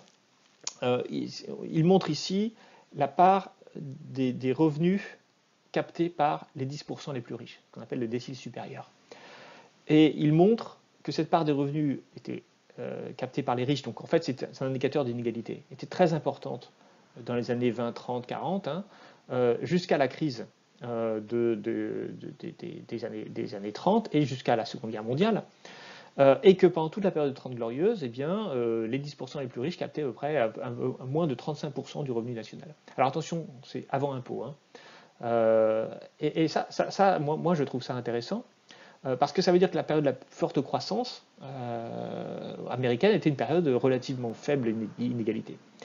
À partir, vous voyez, c'est très net, à partir de, l'élection de Reagan, eh bien, on a une forte hausse jusqu'à ce qu'on arrive à un niveau euh, des revenus aux États-Unis en, 2008, euh, euh, où les 10% les plus riches collectent, 50% du revenu national. Donc ça veut dire qu'il reste 50% du revenu national pour les 90% les plus pauvres, hein, c'est ça que ça veut dire. Mais ce qui est intéressant, c'est la date. On est en 2006, 2008, euh, hein, dans ces années-là, juste avant la crise financière. Et on voit que la dernière fois qu'on avait atteint ce niveau d'inégalité, c'était en 1929. Et donc ce graphique a été extrêmement intéressant, alors notamment quand il s'est arrêté en 2006, parce que là c'est la version euh, après où il a prolongé la courbe, où on avait l'impression que euh, les inégalités étaient la, source de la crise. Alors en fait cette théorie n'a pas été vérifiée. bon, c'est plus compliqué que ça, hein, pour le dire euh, très clairement.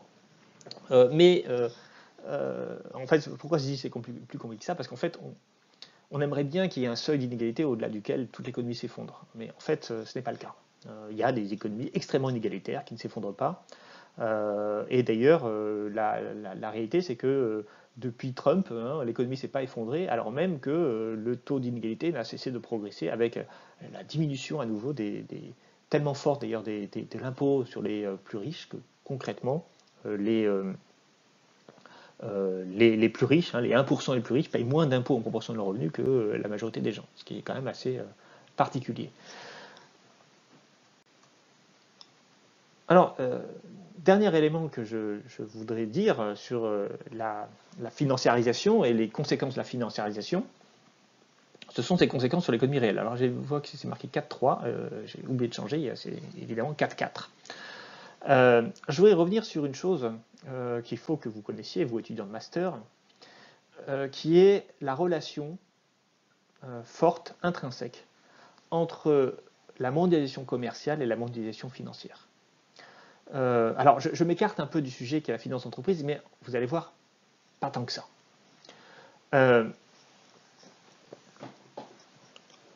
Lorsqu'on libéralise la finance, je l'ai dit, on libéralise en ouvrant euh, les euh, marchés des capitaux à l'étranger, en supprimant les frontières qui cloisonnaient en quelque sorte les systèmes financiers.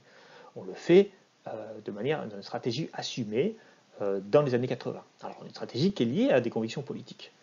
que, en gros, il faut que l'État soit moins présent dans l'économie, et pour ça, eh bien, on va mettre en concurrence les systèmes économiques, et du coup, on va pousser l'État à mener des politiques d'attractivité fiscale et sociale hein, pour récupérer une partie des investissements du monde entier. mais en même temps, dans cette période-là, on va voir se libéraliser aussi les flux commerciaux, c'est-à-dire baisser cette fois-ci les barrières douanières. Et on pourrait penser qu'il s'agit de deux choses différentes, que après tout on peut librement commercer avec d'autres pays, mais on peut contrôler ses capitaux. La est un peu différente. Les deux choses sont liées. La, mondialisation commerciale et la mondialisation financière sont liées. Alors, comment on peut le prouver? Alors, je ne vais pas vous faire tout le calcul ici, parce que d'abord, je n'ai pas le temps, je crois que j'arrive au bout des trois heures, euh, mais euh, je vais vous rappeler une équation simple de la comptabilité nationale euh, qu'on peut retrouver assez facilement. Je le fais en première année d'économie, donc ceux qui fait la L1 ben, pourront revoir hein, la démonstration. on la trouve aussi sur Internet. Et on va arriver juste à la conclusion. La conclusion qui est qu'on a une équation fondamentale, qui est celle-ci, x moins m égale s moins i. Alors, qu'est-ce que ça veut dire? x moins m, x c'est les exportations, m c'est les importations. L'écart, enfin la différence exportation-importation, représente la balance commerciale. S moins I, c'est S, c'est l'épargne, et I, c'est les besoins d'investissement. L'épargne intérieure et l'investissement intérieur d'une économie. Alors, qu'est-ce que cette égalité signifie? Globalement, elle signifie que lorsqu'on est en excédent commercial, X est supérieur à M, alors, mécaniquement, S est supérieur à I. C'est-à-dire que le total d'épargne dégagé par l'économie est supérieur à ses besoins d'investissement. Je vous l'ai donné dans, cet ordre-là, mais on peut tout à fait le dire dans l'autre ordre. Lorsque S est supérieur à I, ou lorsque I est inférieur à S, eh bien, forcément, X sera supérieur à M. C'est une égalité comptable. Ce n'est pas une égalité logique. Je veux dire par là, ce n'est pas l'un qui entraîne l'autre. En fait, c'est les deux choses arrivent en même temps. Alors pourquoi je vous dis ça? Eh bien parce que ce qui va se passer dans les années 80, et ce qui va être intéressant de voir, c'est que la, capacité d'un pays à devenir euh, structurellement exportateur. Euh, imaginons un pays qui, qui, a une balance commerciale toujours excédentaire. Eh bien, ça veut dire qu'il a une balance financière qui, elle aussi, est toujours excédentaire. C'est-à-dire que, globalement, c'est un pays qui épargne beaucoup à l'échelle nationale. Encore une fois, sans vous préciser que l'un est la conséquence de l'autre. Ça peut être les deux, en fait. Il peut y avoir par exemple, je vous dis, euh, on, pense à excédent commercial, c'est bien. Euh, c'est bien, ça veut dire qu'on exporte plus qu'on importe. Bon, bien, je ne sais pas. Ça veut dire aussi qu'on travaille beaucoup pour que d'autres vivent mieux.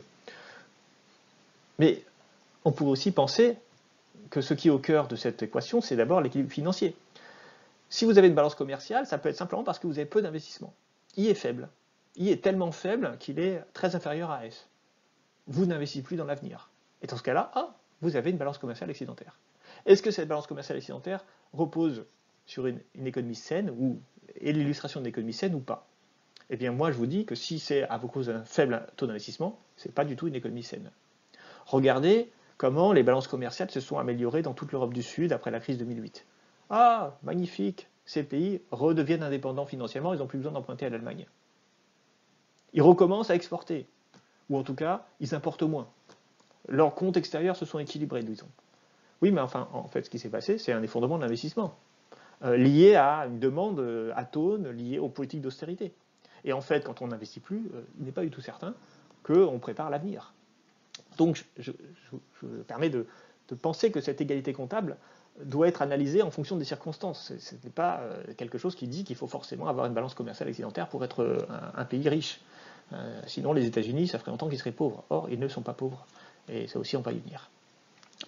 Donc, tout ça pour dire que euh, on a cette égalité comptable. Et qu'est-ce qu'elle implique, cette égalité comptable? Elle implique que si un pays devient structurellement excédentaire, euh, c'est-à-dire qu'il a une balance commerciale qui, euh, qui, est structurellement excédentaire, et que ça se continue pendant 5 ans, 10 ans, 15 ans, 20 ans, ça veut dire qu'il va avoir une balance financière qui, elle aussi, va être excédentaire. Il va accumuler des excédents financiers, de l'épargne. Et cette épargne, il faut forcément falloir qu'il la place à l'étranger. Or, ça, ce n'est possible que si on a une liberté de mouvement de capitaux. Ça veut dire que liberté de mouvement de capitaux et liberté commerciale sont liées. On ne peut pas avoir l'un sans l'autre. C'est absurde de vouloir contrôler, en gros, une économie où il y aurait une impossibilité d'avoir des, comment dire, euh, des mouvements de capitaux, où, euh, on va dire, les, les, systèmes financiers seraient totalement cloisonnés, serait une économie où, on va dire que les échanges commerciaux seraient forcément équilibrés. Et en fait, c'est le cas du système Bretton Woods. Les systèmes financiers pendant Bretton Woods, c'est-à-dire pendant les 30 glorieuses, étaient assez cloisonnés, étaient cloisonnés en réalité, assez fortement. Euh, et donc, il n'y avait pas de déséquilibre structurel. Quand l'Allemagne commençait à trop exporter, le Dutch Mark se réévaluait, et euh, du coup, ben, les exportations euh, diminuaient à ce moment-là. Aujourd'hui, on peut avoir des équilibres commerciaux structurels qui peuvent se perpétuer. Et ça, ça crée des problèmes aussi, de nouveaux problèmes, notamment des crises de financement. C'est exactement ce qui s'est passé dans la zone euro. Qu'est-ce que c'est que, euh, même dans l'Union européenne, pendant la crise 2008 Qu'est-ce que c'est que cette crise de la zone euro? C'est une crise de financement. C'est une crise de financement qui vient d'où? Qui vient du fait que les pays d'Europe du Nord finançaient les économies des pays d'Europe du Sud. Mais s'ils finançaient les économies des pays d'Europe du Sud, c'est pas juste parce que les États étaient dispendieux. C'est pas vrai pour l'Espagne, par exemple, qui avait un excédent commercial, enfin un excédent, budgétaire. L'État espagnol avait un excédent budgétaire important en 2006 et 2007. donc c'était pour financer l'activité privée, c'était elle, hein, c'était le déficit commercial de l'Espagne qui faisait qu'elle avait besoin de financement vis-à-vis de l'Allemagne. Mais pour revenir à la crise, qu'est-ce qui s'est passé? Lorsque tout d'un coup, les systèmes financiers de ces pays se sont effondrés. Ils sont effondrés parce que l'Allemagne a décidé d'arrêter de prêter à ces pays. Et donc immédiatement, qu'est-ce qui s'est passé? Bah, Ces pays se sont trouvés en crise et ils ont dû emprunter euh, pour, euh, pour gérer la transition. Euh, et en même temps, bah, l'Allemagne a perdu des débouchés. et donc, vous voyez, il y a une forme d'interdépendance entre commerce et finance. Et cette indépendance, interdépendance, si elle se poursuit, elle finit par engendrer des rapports de force politiques les créanciers finissent par dire aux, débiteurs eh maintenant il faut payer. Ou ah maintenant on va arrêter de vous financer. Euh, alors pour revenir sur euh, la crise de l'euro, je vous invite à, lire euh, ce, chapitre de livre, alors qui est paru en 2019, hein, qui s'appelle La crise de l'euro et crise de l'euro et divergence économique, les conséquences du marché unique pour l'unité européenne. Alors il est paru dans un livre La Constitution matérielle de l'Europe, mais il est aussi disponible en version auteur sur ma page personnelle, et vous trouverez sur HAL assez facilement. Et je reviens sur l'analyse européenne et sur justement cette imbrication très forte entre système financier et système commercial. Et en fait, ce que j'essaie d'expliquer, c'est que c'est la désindustrialisation euh, de l'Europe périphérique qui est la cause en fait de la crise financière.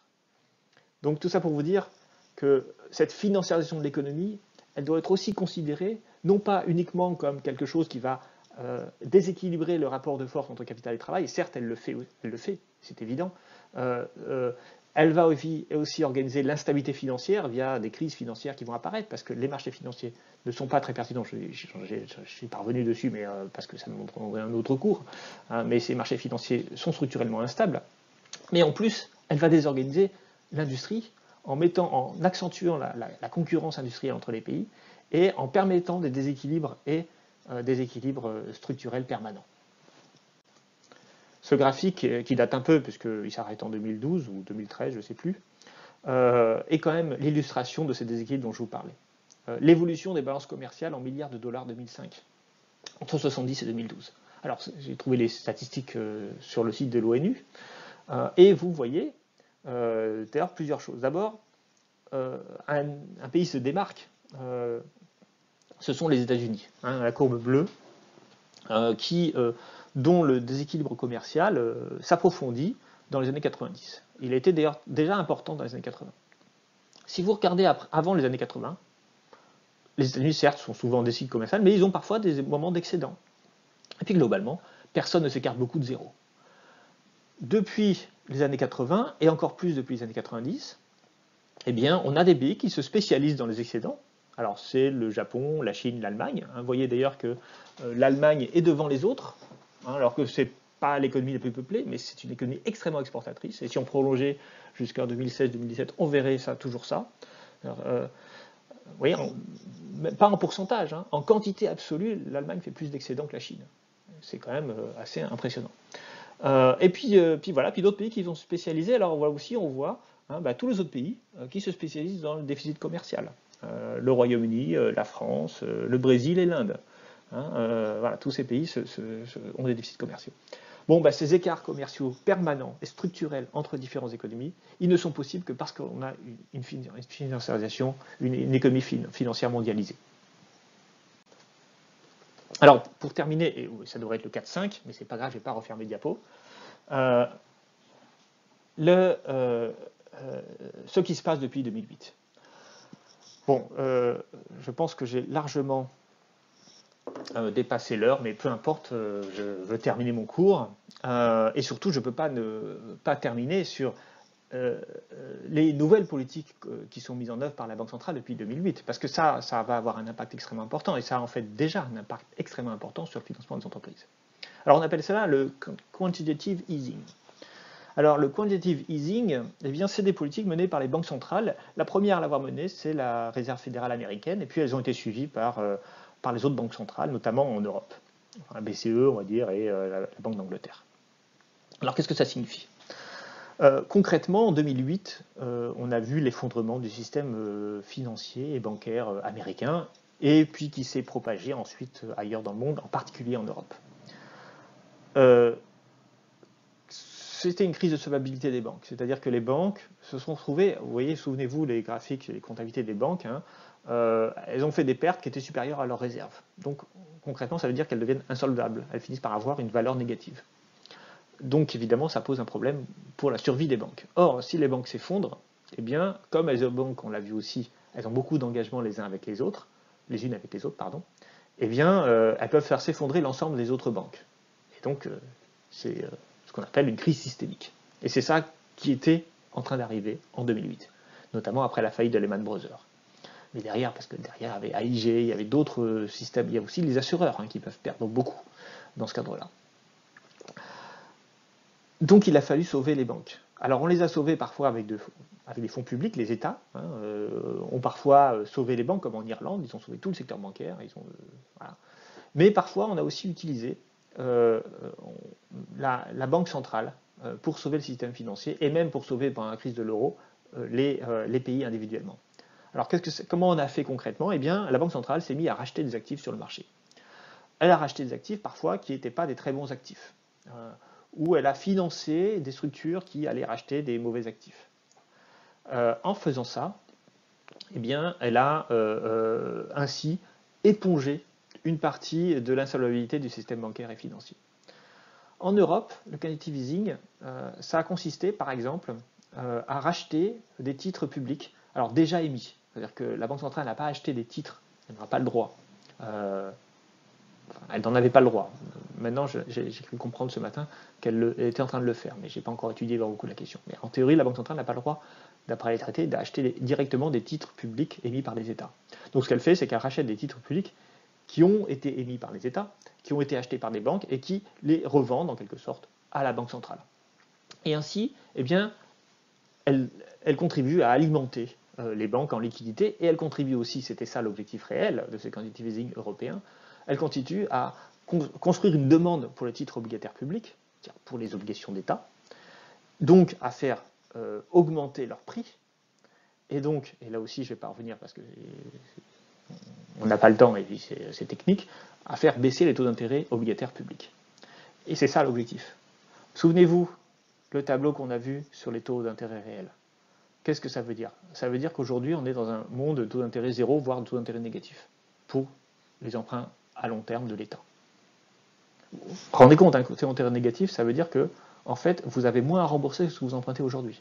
Et plus vous attendez, moins vous avez à rembourser. C'est quand même assez intéressant.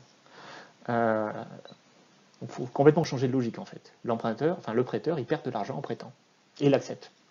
Bon, ça c'est parce qu'on a dit, euh, même en période d'inflation faible, les taux d'intérêt réels étaient devenus négatifs parce que les, euh, les, les, taux nominaux ont, beaucoup baissé. Et pourquoi ils ont baissé? Parce que la Banque centrale a commencé à racheter des obligations. C'est ce qu'on appelle le quantitative easing. Donc c'est ça en fait l'idée, d'agir non pas simplement sur les taux courts, mais aussi sur les taux longs. Pourquoi faire? Pour relancer l'investissement. Pourquoi faire? Pour relancer la croissance. Parce que l'économie s'est totalement arrêtée en 2008. Et donc toutes les banques centrales se sont mises à mener des politiques maintenant qui ne visaient pas uniquement à baisser les taux d'intérêt à court terme, mais qui visaient à baisser les taux d'intérêt à long terme. Alors, quelles conséquences ça a sur les entreprises? Eh ben, C'est génial. On peut emprunter et on paye rien. Alors certes, les taux d'intérêt à long terme euh, dont bénéficient les entreprises ne sont pas les taux d'intérêt à taux négatif, euh, parce, que, parce que les entreprises ne sont pas des emprunts sans risque.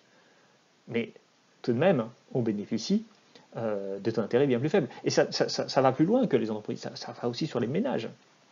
Euh, quand les ménages peuvent acheter maintenant de l'immobilier, hein, on emprunte à des taux inférieurs à 2%. Euh, si l'inflation, parce que si on emprunte à 20 ans, mettons à 1,6%, comme c'est possible aujourd'hui auprès d'une banque pour acheter un bien immobilier, aujourd'hui l'inflation est inférieure à 1,6, donc le taux d'intérêt réel, il, reste positif, enfin il est très faible.